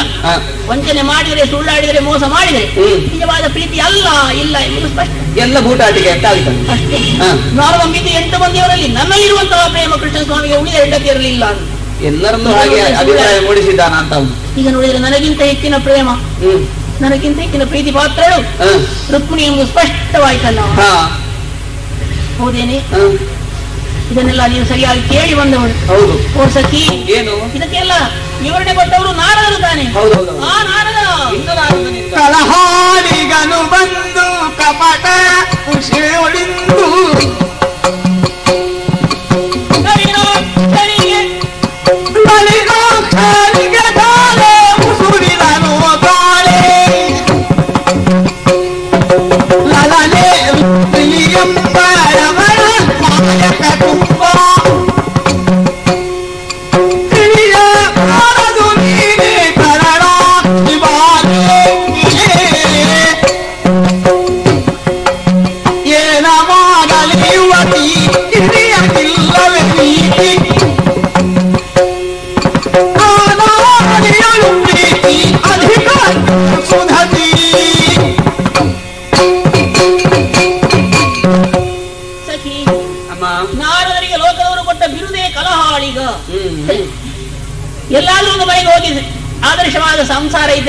ಇದ್ರೆ ಅದನ್ನು ಕೆಡಿಸುವುದೇ ಅವರ ಉದ್ದೇಶ. ಈಗ ಇದು ಇಲ್ಲಿ ಪ್ರಮಾಣೀಕರಿಸಲ್ಪಟ್ಟಿದ್ದು ಅಲ್ವೇ ಹಾ. ಅವರಿಗೇನು ಹೆಂಡತಿಯ ಮಕ್ಕಳು. ಸಂಸಾರದ ಸಾರವೆಂದ್ರೆ ಏನು. ಗಂಡ ಹೆಣ್ಣಿನ ಪ್ರೇಮ ಅಂದ್ರೆ ಏನು? ಅದೊಂದು ಅವರಿಗೆ ಗೊತ್ತಿಲ್ಲ. ಗೊತ್ತಿಲ್ಲ. ಆದ್ದರಿಂದ ಮತ್ಸರದಿಂದಲೇ ನಮ್ಮ ದಾಂಪತ್ಯವನ್ನು ಕೆಡಿಸುವುದಕ್ಕೆ ಅನಾರದರು ಬಂದಿದ್ದಾರೆ. ಇಲ್ಲವಾದ್ರೆ ಒಂದೇ ಹೂ ತರಬೇಕಾಗಿತ್ತು. ಮತ್ತೆ? ದೊರೆತವರಿಗೆ ಹತ್ತು ಹೂಗಳು ಇರ್ಲಿಲ್ವಾ? ಇರ್ಲಿಲ್ವಾ? ಎಂಟು ಹೂಗಳನ್ನು ತಂದು ಕೃಷ್ಣ. ಇಗೋ ನಿನಗೆ ಎಂಟು ಮಂದಿ ಹೆಂಡತಿಯರಿದ್ದಾರೆ. ಎಂಟು ಮಂದಿಗಳಿಗೆ ಮುಡಿಸಿ ಅಲ್ಲ ಅಲ್ಲ ಹಾಗೆ ಕೊಟ್ರೆ ಅದು ಅಸಮಾನತೆ ಆಗ್ತದೆ. ನಿನಗೆ ಎರಡು ಕೊಡಬೇಕು. ಹೆಚ್ಚು ಪ್ರೀತಿ ಇದ್ರೆ. ನೀನು ಮತ್ತೆ ಕೊಡ್ತಿದ್ದಿ. ಇನ್ನೂ ಏನು ಹೇಳಿದ್ರು? ಅದನ್ನು ಉಳಿಬೇಕಿದ್ರೆ ಅರ್ಹತೆ ಬೇಕು. ಹೌದು. ರುಕ್ಮಿಣಿಯಲ್ಲಿ ಸೌಂದರ್ಯ ಇದೆ ಹಾ. ಶೀಲ ಇದೆ. ಗುಣ ಇದೆ ಪಾತಿವ್ರತೆ ಇದೆ ಎಲ್ಲವೂ ಇದೆ. ಇದೆ. ನೀನಂದಂತೆ ಈ ಮಾತಿನ ಧ್ವನ್ಯರ್ಥ ಏನು? ಒಂಥರ ಮಾತದು. ಹಾಗಾದ್ರೆ ರುಕ್ಮಿಣಿ ಹೆಚ್ಚು ಸೌಂದರ್ಯ ನನ್ನಲ್ಲಿ ಇಲ್ಲ ಅಂತ ಅರ್ಥ. ಒಂದು ಪರೋಕ್ಷವಾಗಿ ಹಾಗೆ ಆಯ್ತಮ್ಮ. ಕಣ್ಣು ಕೈ ಕಾಲಲ್ಲಿ ದೋಷ ಉಂಟೆ ಇಂಥ ಚಂದದ ಹುಡುಗಿ ಬೇರೆ ಯಾರಿಗೆ ಸಿಕ್ಕಿಯ? ಅವಳು ಶೀಲವತಿ. ಹಾ. ನಾನು ಶೀಲಗೆಟ್ಟವಳ? ಈಗ ಅವಳು ಪತಿವ್ರತೆ. ಹಾ. ನೀನು ಧರ್ಮ ಇಲ್ವಾ? ಇದೆ ಇದೆ. ಕುಲವತಿ ಕುಲ ಇಲ್ವಾ? ಒಳ್ಳೆ ಸತ್ಕುಲ ಬ್ರಹ್ಮ. ಯಾವುದರಲ್ಲಿ ಕೊರತೆ ಇದೆ? ಏನಿಲ್ಲ. ಯಾವುದರಲ್ಲಿ ದೋಷ ಇದೆ? ನಮ್ಮ ನನಗೂ ಅವಳಿಗೂ ಇರುವಂತಹ ತಾರತಮ್ಯ ಏನು. ಇದನ್ನು ಕೃಷ್ಣ ಸ್ವಾಮಿ ಕೇಳ್ಬೋದಿತ್ತಲ್ಲ? ಹೌದು. ನಾರದರೆ ರುಕ್ಮಿಣಿಯೇ ಕೊಡಬೇಕಾದಂತಹ ಅಗತ್ಯ ಏನು ಏನುಂಟು? ನಾರದರು ಹೇಳ್ತಿದ್ರಲ್ಲ? ಹೌದು. ಏನಾದ್ರೂ ಒಂದು ಆಧಾರವನ್ನು. ಕಾರಣ ಇದ್ದರೆ ಒಪ್ಪೋಣ. ನನಗಿಂತ ಹೆಚ್ಚಿನ ಹೆಚ್ಚವಳಲ್ಲಿ ಏನುಂಟು. ಅವಳು ಹೆಚ್ಚೇನು? ಮಿಕ್ಕವರು ಕಡಿಮೆ ಏನು? ಮಿಕ್ಕವರು ಕಡಿಮೆ ಹೌದು. ಈಗ ಮಿಕ್ಕವರು ವಿಚಾರ ಬಿಡು. ನಮ್ಮ ನಮ್ಮ ಇಬ್ಬರ ಬಗ್ಗೆ. ರುಕ್ಮಿಣಿ ಮತ್ತು ಸತ್ಯವಾಮೇರೊಳಗಿರು. ಉಳಿದವರ ವಿಚಾರ ಅವರು ಕೇಳಿದವರು. ಅದು ಬಿಡು. ಬಿಡುವ. ಆದ್ರೆ ನನಗೊಳಗಿರುವಂತಹ ತಾರತಮ್ಯ ಏನು? ಏನು? ನನಗೆ ನಾರದರಾದ ಹೇಳಬೇಕು ನನ್ನ ಗಂಡನಾದ್ರೂ ಉತ್ತರ ಕೊಡಬೇಕು. ಕೊಡ್ಬೇಕು. ಕುಲದಲ್ಲಿಯೋ ಕುಲದಲ್ಲಿಯೋ ಮಾನದಲ್ಲಿಯೋ ರೂಪದಲ್ಲಿ ಯಾವುದರಲ್ಲಿ ನನ್ನಲ್ಲಿ ಕೊರತೆ ಇದೆ ದೋಷ ಇದೆ. ಬೇಡ. ಇನ್ನು ಹೇಳುತ್ತಾರೆ ಅವಳಲ್ಲಿಯೇ ದೋಷ ಕಾಣಬಹುದು. ಅವಳಿಗೆ ಮದುವೆ ಆಗಲಿಲ್ಲ. ಓಲೆ ಬರೆದು ಮತ್ತೆ? ಕಳ್ಳತನದಿಂದ ಓಡಿ ಬಂದವಳು ಅವಳು. ಕ್ರಮವತ್ತಾಗಿ ನನ್ನಪ್ಪ ಸತ್ರಾರ್ಜಿತ ಮಹಾರಾಜರು ಮದುವೆ ಮಾಡಿ ಕೊಟ್ಟಿದ್ದಾರೆ ಹೌದೌದು ಪತ್ರ ಬರೆದು ಓಡಿ ಬಂದದ್ದು. ಮುಂದಿನವರಿಗೆ ಒಂದು ಆದರ್ಶ ಅವಳು. ಉಂಟ. ಅದು ಪ್ರಣಯ ಪತ್ರ ಅಂತ. ಎಂತ ಪ್ರಣಯ ಪತ್ರ? ಓಲೆ ಬರೆದಳಂತೆ ಜಾಣ ನೀನು ಬರಬೇಕಂತೆ. ಅಲ್ಲಮ್ಮ. ಇವರೆಲ್ಲ ಮನೆ ಮನೆ ಇರ್ತಾರೆ ಮಾತನ್ನು. ಮತ್ತೆ? ಅವಳು ಎಣಿಸಿದ್ದಾರೆ ನನ್ನ ಹೊಗಳುವುದು ಅಂತ. ದೇಶಿಗೆ ದೇಶಕ್ಕೆ ನಾಟಿಗೆ ಅದು. ಅದು ನಾಳೆ ಎಲ್ಲರೂ ಪ್ರೇಮ ಪತ್ರ ಮದುವೆ ಪ್ರಾರಂಭ ಆದ ಲೋಕ ಹಾಳಾಗಿಲ್ವ? ಹಾಳು ಕೆಟ್ಟಿ ಕಲಿಸಾಗಾಯ್ತು ತಂದೆ ತಾಯಿಗಳಿಗೆ ಬೆಲೆ ಇಲ್ಲ ಅಂತ ನಮ್ಮ ನಡುವೆ ಲೋಕಕ್ಕೆ ಆದರ್ಶವಾಗಿರ್ಬೇಕು. ನಾವು ಕೆಟ್ಟದನ್ನು ತೋರಿಸಿಕೊಡಬಾರದು. ಈ ಲೋಕದವರಿಗೆ ಈ ಬೇಡದಲ್ಲಿ ಕಲಿಸಿಕೊಟ್ಟರೆ ಇವಳೆ. ಪ್ರಣಯ ಪತ್ರ ಅಂತ ಮಾಡಿ. ಪ್ರಾರಂಭ ಅವಳಿರ್ಲಿ ಅಲ್ವಾ? ಹಾ ಮತ್ತೆ. ಇದನ್ನು ನೋಡಿ ಇವರು ಅಲ್ಲಿ ಹೋಗಿ ಅವಳು ತಗೊಂಡು ಹೌದು. ಸರಿಯಾ. ಹಾಗಾದ್ರೆ ದೋಷ ಇರುವುದು ಅವಳಲ್ಲಿ. ಹೌದು. ಮದುವೆ ಆಗದೆ ಓಡಿ ಬಂದವಳು ಅಂತ ಲೋಕ ಹೇಳುವುದು ಅವಳನ್ನು. ನನ್ನನ್ನು ಹೇಳುದಿಲ್ಲ ಇಲ್ಲ ಉಳಿದ ವಿಷಯ ಬಿಡು. ನಿನ್ನ ಮದುವೆ ಎಷ್ಟು ಅದ್ದೂರಿಯಲ್ಲಿ ನನಗೆ ಆ ದೃಶ್ಯ ಈಗಲೂ ಕಣ್ಣಿಗೆ ಕಟ್ತದೆ ನಾವು ಸಮಾನರಾಗಿದ್ದೇವೆ. ಸ್ವಾಮಿ ಕೇಳ್ಬೋಯ್ತಲ್ಲ? ಕೇಳ್ಬೋದು ಕೇಳ್ಬೋದು. ರುಕ್ಮಿಣಿಯ ಕೊಡ್ಬೇಕಾದ ಯಾಕೆ. ಒಂದು ವೇಳೆ ಹೆಚ್ಚಿಂತ ನಮ್ಮಿಂದ ಗೌರವ ಇದ್ದರೆ. ಕಾರಣ ಇದ್ರೆ ನಾನು ಒಪ್ಪುತ್ತೇನೆ. ಅದು ಸಕಾರಣವಾದ ತಾಯಿಯ ಹೊಟ್ಟೆಯಿಂದ ಹುಟ್ಟಿದವಳು ಹೌದಾ ಅಲ್ವಾ? ಹಾ ಮೇಲೆ ಬಂದಳ ಆ, ಇಲ್ಲ. ಆಕಾಶದ ಕೆಳಗಿಳಿದಳ ಇಲ್ಲ. ಅಗ್ನಿ ಸಂಭವಯ ಅಲ್ಲ. ಅಯೋನಿಗೆ ಆಗಿರಲಿ. ಒಪ್ಪೋಣ ನನಗಿಂತ ಹೆಚ್ಚು ಗೌರವ ಅಂತ. ಹೌದೌದು ನಮಗಿಂತ ಹೆಚ್ಚು ಗೌರವ ಉಂಟು. ನಾವೆಲ್ಲ ಹೊಟ್ಟೆಯಲ್ಲಿ ಹುಟ್ಟಿ ಬಂದು ಅದೊಂದು ಸಣ್ಣ ತೂಕ ಕೊಡುವಳಿ ಕೊಡುವ. ಅವಳು ಹೊಟ್ಟೆಯಲ್ಲಿ ಹುಟ್ಟಿದವಳಲ್ವಾ? ಅವಳಲ್ವ ಅಲ್ವಾ? ಹೌದು. ಅವರ ಯಾರು? ಬಿ- ಬಿ- ಬಿ- ಬಿ- ಭೀಷ್ಮಕ ರಾಜ ಹೌದಪ್ಪ ಇಲ್ಲ ಅವಳಿಗೆ? ಹಾಗಾದ್ರೆ ಹೆಚ್ಚೇನ ಅವಳಲ್ಲಿ. ಏನೂ ಇಲ್ಲ. ಅದು ಬಿಟ್ಟು ಅವಳಿಗೆ ತಾಯಿ ಮನೆಗೆ ಕೂಡ ಹೋಗ್ಲಿಕ್ಕಿಲ್ಲ. ಕಳ್ಕೊಂಡಿದ್ದಾಳೆ ಹೌದೌದು. ಎಲ್ಲವೂ ಹಾಗೆ. ಅಣ್ಣನ ಮಂಡೆ ಗೋಳಿಸಿ ಓ ಇಲ್ಲಿವರೆಗೆ ನಾನು ಹಾಕಿಸಿ ಕತ್ತೆ ಮೇಲೆ ತಿರುಗಾಟ ಯಾವ ತಾಯಿ ಮನೆ ಹಾಗೆ ಉಂಟಾ? ಉಂಟಾ. ಒಂದು ತಾಯಿ ಮನೆ ಉಂಟಾ ಅವಳಿಗೆ? ಉಂಟಾ. ಸಂಸಾರ ಅಲ್ಲಿಂದಲೇ ಮುಗಿಸಿ ಬಂದಿದ್ದಾಳೆ. ಬಂಧುವನ್ನು ಮಾಡಬೇಕಿದೆ ಅವಳು. ಹಾ, ಇದು ಹಾ. ಲೋಕಕ್ಕೆಲ್ಲ ಗೊತ್ತಿದ್ದ ಕತೆ. ಮತ್ತೆ? ಗೊತ್ತುಂಟಲ್ಲ. ನಿನ್ನಲ್ಲಿ ಅಂತ ಏನಾದ್ರು ಒಂದು ಅಪವಾದ ಏನಿಲ್ಲ. ಹಾಗಾದ್ರೆ ನನಗಿಂತ ಅವಳು ಹೆಚ್ಚು ಅಂತ ನಾರದರು ಹೇಳಬೇಕಿದ್ರೆ. ಈ ನಾರದರು ಹೇಳಿದ ಮಾತನ್ನು ಇವರು ಕೇಳಬೇಕಿದ್ರೆ. ಇದೆಂತ ಇದೆಂತದ್ದು ಇದು? ಅಲ್ಲಮ್ಮ ಬಹುಶಃ ಕೃಷ್ಣಸ್ವಾಮಿ ಭಾಗವತರ ಹಾಡಿದ್ದು ಕೇಳಿಲ್ಲ. ಏನು? ವಿತ್ತಲ ಸತ್ರಾಜಿತಾತ್ಮಜೆ ಹಾ. ಅಂತ ಹೇಳಿ ಎಷ್ಟು ಗೌರವಯುತವಾಗಿ ನೀನು ಬರುವಾಗ ಹೇಳ್ತಾರೆ. ಘಂಟಾಘೋಷವಾಗಿ. ಅವರ ಕಡೆ ಬಿಡು. ಆದ್ರೂ ಆದ್ರೂ ಕೂಡ. ಅದೆಲ್ಲ ಬಿಡು ನೀನು. ಬೇಕಾದಾಗ ಬರೀ ಒಬ್ಳು ತಿಳಿತಲ್ಲ? ಅಷ್ಟೇ ಅದು. ಭಾಗವತರ ಹಾಗೆ ಹೇಳಿದ್ರು ಹೀಗೆ ಹೇಳಿದ್ರು. ಅದು ಬೇಡ. ಅದೆಲ್ಲ ಬೇಡ. ಹೌದು. ಹಾ. ಆದ್ದರಿಂದ ಈಗ ನನಗದು ಬೇಕು. ಇದರಿಂದ ನನಗೆ ಎಷ್ಟು ಅವಮಾನ ಒಂದು ಗಂಡನ ಪ್ರೀತಿ ಇಲ್ಲ ಅಂತ ಆಯ್ತು. ಇನ್ನೊಂದು ರುಕ್ಮಿಣಿಗಿಂತ ನಾನು ಕೀಳು. ಕೀಳು ಅಂತ ಆಯ್ತು. ಹೌದಾ? ಹೌದೌದು. ಉಳಿದವರು ತರ್ಕಿಸಿದಿಲ್ವಾ ಹ್ಮ್. ರುಕ್ಮಿಣಿಗೆ ಕೊಡ್ಬೇಕಾದ್ರೆ ಸಚಿವರಲ್ಲಿ ಏನೋ ಒಂದು ದೋಷ ಇರಬೇಕು. ಅವಳಲ್ಲಿ ಆ ಯೋಗ್ಯತೆ ಇಲ್ಲ. ಇಲ್ಲ. ಲೋಕಕ್ಕೆ ಗೊತ್ತಾಯ್ತಾ ಇಲ್ವಾ? ಮತ್ತೆ? ಅದರಲ್ಲಿ ಗಂಡನೇ ತೋರಿಸಿಕೊಟ್ಟದ್ದು. ಅವಳು ಉಟ್ಟ ಸೀರೆಯಲ್ಲಿ ಓಡಿ ಬಂದದ್ದು. ನೀನು ಬಂದ ಗಾಡಿ ಬಂಗಾರ ಎಷ್ಟು? ಅಲ್ವಾ? ಆದ್ದರಿಂದ ನೋಡು. ಹಾಗಾದ್ರೆ ಇದು ಲೋಕದವರಿಗೆ ನಾವು ಕನ್ನಡಿಯಲ್ಲಿ ತೋರಿಸಿದ ಹಾಗೆ. ಹೆಂಡತಿಯ ಮರ್ಯಾದೆ ಗಂಡನೇ ತೆಗೆದ್ರೆ. ಮತ್ತೆ ಊರವರು ಉಂಟ ಇನ್ನು ಊರವರು ಏನು ಬೇಕಿದ್ರು ಹೇಳಿ. ಗಂಡ ಮರ್ಯಾದೆ ತೆಗಿಬೋದು ಹೆಂಡತಿ ಇದು. ಈ ಹೆಂಡತಿಯ ಮಾನವನ್ ಗಂಡ ತೆಗೆದಾಗ ಆಯ್ತು ಇಲ್ವಾ ಮತ್ತೆ? ಅದನ್ನ. ರುಕ್ಮಿಣಿಗಿಂತಲೂ ಹೆಚ್ಚಾಗಿ ನನಗೆ ಕೋಪ ನನ್ನ ಗಂಡನಲ್ಲಿ? ನನ್ನ ಗಂಡನಲ್ಲಿ. ಕೃಷ್ಣ ಸ್ವಾಮಿಯಲ್ಲಿ ಮತ್ತೆ ನಾರದರಲ್ಲಿ. ಅವಂತೂ ಕಲಹಾಡಿಗ ಬಿಡು. ಅವನಿಗೆ ಸಂಬಂಧ ಇಲ್ಲ. ಆದ್ರೆ ಇವರು ಆಲೋಚನೆ ಮಾಡಬೇಕು. ಇವರು ಇಷ್ಟು ಗೊತ್ತಿದ್ದವರು ಗೊತ್ತಿದ್ರು ಹೀಗೆ ಮಾಡ್ಬೋದಾ? ಗೊತ್ತಿ ಏನು ಗೊತ್ತಿಲ್ಲ ಅವರಿಗೆ. ಅಲ್ಲ ಇರುವ ಗೊತ್ತಿಟ್ಟು ಏನು ಗೊತ್ತಿಲ್ಲ. ಹಾ, ಗುರುವರು ಹೇಳುದು. ನನಗೆ ಗೊತ್ತು. ಗೊತ್ತಿರೋದು ಏನೂ ಇಲ್ಲ. ಅದನ್ನ ಒಪ್ಪಿ ಇವರು ಉಬ್ಬಳಾಗುದು ಅಲ್ವಾ. ಗೊತ್ತಿದ್ರೆ ಎಂಟು ಮನೆಯನ್ನು ಸರಿಯಾಗಿ ನಡೆದುಕೊಂಡು ಹೋಗ್ಬೇಕಾ ಬೇಡ ಅಥವಾ ಒಂದು ಪಕ್ಷ ಎಲ್ಲರನ್ನು ಕರೆಸಿ ಅನ್ಯಾಯವಾಗಿ ನ್ಯಾಯವಾಗಿ ಮುಡಿಸುವುದು ಲೆಕ್ಕ ಬೇರೆ ಇತ್ತು. ಸತ್ಯ. ಬರುವುದು. ನಾರದರು ಒಂದು ತಂದಿದ್ದಾರೆ ಭಾಮ ಹೀಗೆ. ಅವರ ಮಾತಿನ ಮಾತನ್ನು ಮೀರುವುದಕ್ಕೆ ಸಾಧ್ಯವಿಲ್ಲ. ಆ ಮಾತಿನಂತೆ ಕುಣಿಗೆ ಕೊಡಬೇಕಾಗಿದೆ. ಆದ್ರೆ ನೀನೊಮ್ಮೆ ಕೈಯಿಂದಲಾದ್ರೂ ನೋಡು. ಕಣ್ಣಿಂದ ಕಣ್ಣಿಂದ ಅದನ್ನು ನೋಡು. ಕಣ್ಣಿಂದಲಾದ್ರೂ ನೋಡು. ಕೈಯಲ್ಲಿ ಕಾಣಿಸೋಟಿದ್ರೆ ಹೌದು. ನಾನೇ ಅವಳು ಸಂತೋಷ ಪಟ್ಟು ಮತ್ತೆ? ಏನು ಮತ್ಸರ ಇಲ್ಲದೆ ಹೇಳ್ತಿದ್ದೆ. ಮತ್ತೆ? ನಾನು ಬರ್ತೇನೆ. ಆ ಚಿತ್ರ- ಕುಣಿಗೆ ಮುಡಿಸುವ. ಇಷ್ಟು ಒಳ್ಳೆ ಮನಸ್ಸು ನನ್ನಲ್ಲಿ ಇಲ್ವಾ? ತೋರಿಸಿದಾರಾ ಇಲ್ಲ, ಇಲ್ಲ. ಏನು ಹೂ ಮಾಡಿ ಹೋಗ್ತಿದ್ದು ನಾನು ಇಲ್ಲ ಇರೋ ಮನಸ್ಸು ಅವರಲ್ಲಿ ಇಲ್ಲ. ಅದೇ ದೋಷ ಆದದ್ದು ಈಗ. ಕೆಟ್ಟು ಹೋಗ್ತದ? ಇಲ್ಲ. ಮನಸ್ಸೇ ಇಲ್ಲ ಅವರಿಗೆ. ಇಲ್ಲ. ಗೊತ್ತಾಯ್ತಲ್ಲ? ಮನಸ್ಸನ್ನು ಅವಳಿಗೆ ಮಾರಿದ್ದಾರೆ. ಸರಿಯಾಗಿ ನಡೆಸಿಕೊಂಡು ಹೋಗುವುದಕ್ಕೆ ಸಾಧ್ಯ ಇಲ್ಲ ಅಂತಂದ್ರೆ ಏಳೆಂಟು ಮಂದಿ ಒಂದು ಗಟ್ಟೆಗಳು ಯಾಕೆ? ಯಾಕೆ ಬೇಕು ಯಾಕೆ ಬೇಕು? ಹೌದು ಒಂದೆರಡು ಸಾಲದ? ಒಂದು ಹೆಂಡತಿಯೇ ಕಷ್ಟ ಆಗ್ತದೆ. ಹೌದು. ಈ ಎಂಟೆಂಟು ಕಟ್ಟುಕೊಂಡು ಉಂಟು. ಇದು ಆಗುದಿಷ್ಟೇ ಹಾ. ಅಷ್ಟೇ ಯಾರ ಮನಸ್ಸು ಮುರಿಯುದು ಮತ್ತೆ? ಅಷ್ಟೇ. ಒಬ್ಬೊಬ್ಬರ ಮೇಲೆ ಪ್ರೀತಿ ತೋರಿಸುದು. ಮತ್ತೊಬ್ಬರಿಗೆ ಮೋಸ ಮಾಡುದು ಹೋಗುವಾಗ ನೀನೇ ನನಗೆ ರಾಣಿ ಅದು ಇದೆಲ್ಲ ಹೇಳುದು. ಆಚೆ ಹೋದಾಗ ಅವಳ ಮನೇಲಿ ಇದನ್ನೇ ಹೇಳುದು. ಇವರ ರಾಗ ಒಂದೇ. ಅದೇ ಅದೇ. ಅಂತವರಿಗೆ ಹೆಸರೇ ಬೇರೆ ಉಂಟು. ಹೌದಾ? ಅಂತ ಹೌದು ಬೇರೆ ಮೂರ್ನಾಲ್ಕು ಮಂದಿಗಳ ಎಂಟು ಮಂದಿ ಮಂದಿ ಮದುವೆ ಆಗಿ. ಹುಟ್ಟಿನಲ್ಲಿ ಹೆಚ್ಚಾಗಿ ಯಾರನ್ನು ಒಬ್ಬ ಪ್ರೀತಿಸ್ತಾನೆ? ಅವನಿಗೆ ಶಟ ಅಂತ ಹೆಸರಂತೆ. ಯಾರೋ ಯಾರೊಬ್ರು ಹೇಳಿ ಕೇಳಿ. ಮತ್ತೆ ಮತ್ತೆ ಯಾರು ಇಲ್ಲಿ ಹೇಳ್ತಿದ್ರು? ಹಲವು ಹೆಂಡಿನ ಮುದ್ದಿನ ಗಂಡ ಅಂತ? ಇವರಿಗೆ? ಇದು ಇಂಥ ಹೇಳಿದ್ದು. ಹೌದೌದೌದೌದು ನಾನು ಮೊದಲೇ ಇದ್ದೇನೆ ಭಾಗವತರ ಮಾತ್ರ ನಂಬುಬೇಡ. ಅವರು ಹೊಟ್ಟೆ ತುಂಬಿಸೋಕೆ ಏನಾದ್ರೂ ಹೇಳ್ತಾರೆ. ಹೇಳಿ. ಆದ್ರೆ ಸತ್ಯ ಎಳ್ಳಷ್ಟು ಇಲ್ಲ. ಅವ್ರು ಹೇಳ್ತಾರೆ ಇವ್ರು ಹೇಳ್ತಾರೆ. ಅದನ್ನು ಬೇಡ. ನಮಗೆ ಅಷ್ಟು ಗೊತ್ತಿಲ್ವಾ? ನಮಗೆ ಧೈರ್ಯ ಉಂಟು. ನನ್ನ ಗಂಡ ಏನು ಅಂತ ನನಗೆ ಗೊತ್ತಿಲ್ವಾ? ನಾನು ಕೂಡ ರೆಡಿ ಆಗ್ಬೇಕಾ? ನಿನ್ನ ಗಂಡ ಏನು? ನಿನ್ನ ಗಂಡ ಎಷ್ಟು ಅಂತ ನಿನಗೆ ಗೊತ್ತಿದತ್ತು ಬಾಕಿಯವರಿಗೆ ಗೊತ್ತ? ಮತ್ತೆ ಗಂಡನ್ನು ತಿಳಿದ್ರೆ ಹೆಂಡತಿ ಅಲ್ಲ. ಸರಿಯಾಗಿ ಗಂಡ ಅಲ್ಲ. ಹೌದು. ಆದ್ರೆ ನನಗೆ ಈಗ ಕೋಪ ಗಂಡನ ಮೇಲೆ. ಅಲ್ಲ, ಗಂಡ- ಮೇಲೆ ಅಲ್ಲ ರುಕ್ಮಿಣಿಯ ಮೇಲೂ ಗಂಡ ಅಲ್ಲ ಅಂದ್ರೆ? ಎಂತ? ಗಂಡ ಅಲ್ಲ ಅಂದ್ರೆ? ಎಂತದೇ ಅಲ್ಲ ಅಂದ್ರೆ? ಗಂಡ ಅಲ್ಲ ಅಂದ್ರೆ ಹೇಗೆ ಅಂತ ಮತ್ತೆ? ಎಂತ ಅಲ್ಲ ಅಂದ್ರೆ? ಇವರು ನಿನಗೆ ಗಂಡ ಅಲ್ಲದಿದ್ರೆ ಮತ್ತೇನು ಅಂತ ನನಗೆ ಈ ಸಮಸ್ಯೆ ಅಲ್ಲ ಅಂತ ಹೇಳಿದ್ರು? ಹಾ ಗಂಡ ಹೌದು. ಗಂಡ ಹೌದು ಅಲ್ಲ ಅಂತ ಹೇಳುದಿಲ್ಲ. ಗಂಡನ ಮೇಲೆ ಕೋಪ. ಕೋಪದಲ್ಲಿ ಹೇಳಿ ಹೌದೌದು. ಆದ್ರಿಂದ ಸಖಿ ಅಮ್ಮ. ಒಂದು ದೃಷ್ಟಿಯಿಂದ ಕಾಣ್ತದೆ. ಏನು? ಇನ್ನು ಜಗಳವೂ ಬೇಡ ಅಳುವುದು ಬೇಡ ಏನು ಬೇಡ. ಹಾ. ಗಂಡನಿಗೆ ಬೇಡವಾದವರು ಮತ್ತೆ ಯಾಕೆ ಬದುಕು ಬದುಕಬೇಕು? ಯಾರಿಗಾಗಿ ಬದುಕಬೇಕು. ನಾನು ಸಾಯುವುದೇ ಒಳ್ಳೆಯದ ಅಂತ. ಹೌದು. ಯಾರು ನೀನು? ಹೌದು. ಇಲ್ಲ ಬೇಡಮ್ಮ ನೀನು ಸಾಯಲಿಕ್ಕೆ ನಾನು ಬಿಡ್ಲಿಕ್ಕಿಲ್ಲ ನಾನಿಲ್ವಾ ನೀನು ನನ್ನ ಕರ್ಮ ನಿನಗೆ ನಾನಿದ್ದೇನಲ್ಲ ನಿನಗೆ ಮತ್ತೆ ಚಿಂತೆ ಯಾಕೆ? ನೀನಿಗೆ ಹೊಟ್ಟೆ ತುಂಬಿಸಕ್ಕೆ ಬೇರೆ ಮನೆ ಉಂಟು. ಆದ್ರೆ ಅದಲ್ಲ ಈಗ ನನಗೆ ಸಾಯ್ಬೇಕು ಅಂತ ಕಾಣ್ತದೆ ಸಾಯ್ಲಿಕ್ಕೆ ಮನಸ್ಸಿಲ್ಲ. ನೋವಾಗದ ಹಾಗೆ ಸಾಯಿದೆ ಹೇಗೆ ಹೇಳು. ನೋವಾಗದ ಹಾಗೆ? ಹೌದೌದು.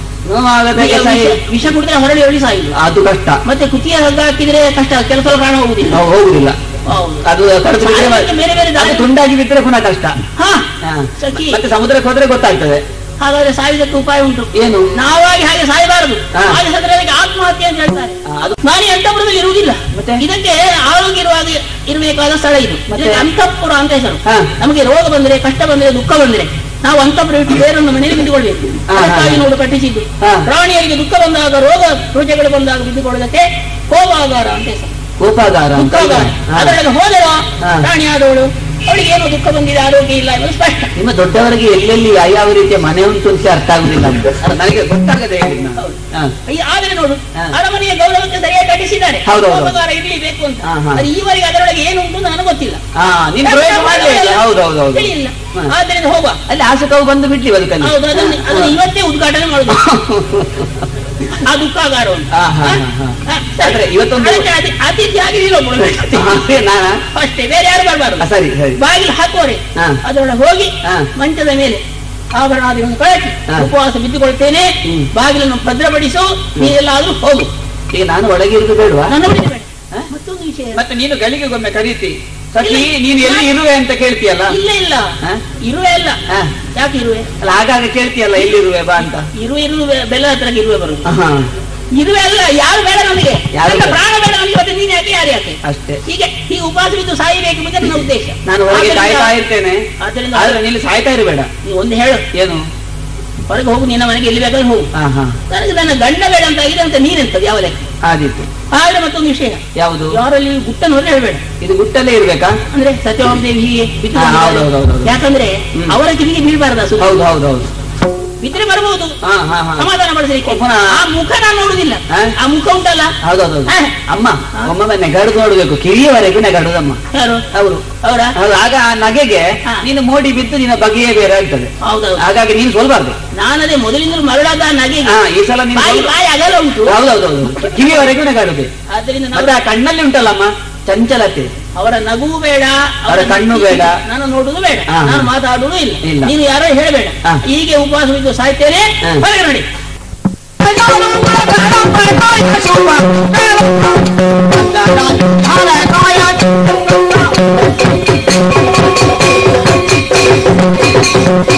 ಮಂಡಲ ಧಾರ ಕಾಯ ಚಂದ್ರ ಧಾರ ಪ್ರಿಯ ಕಾಯ ಸುಂದರ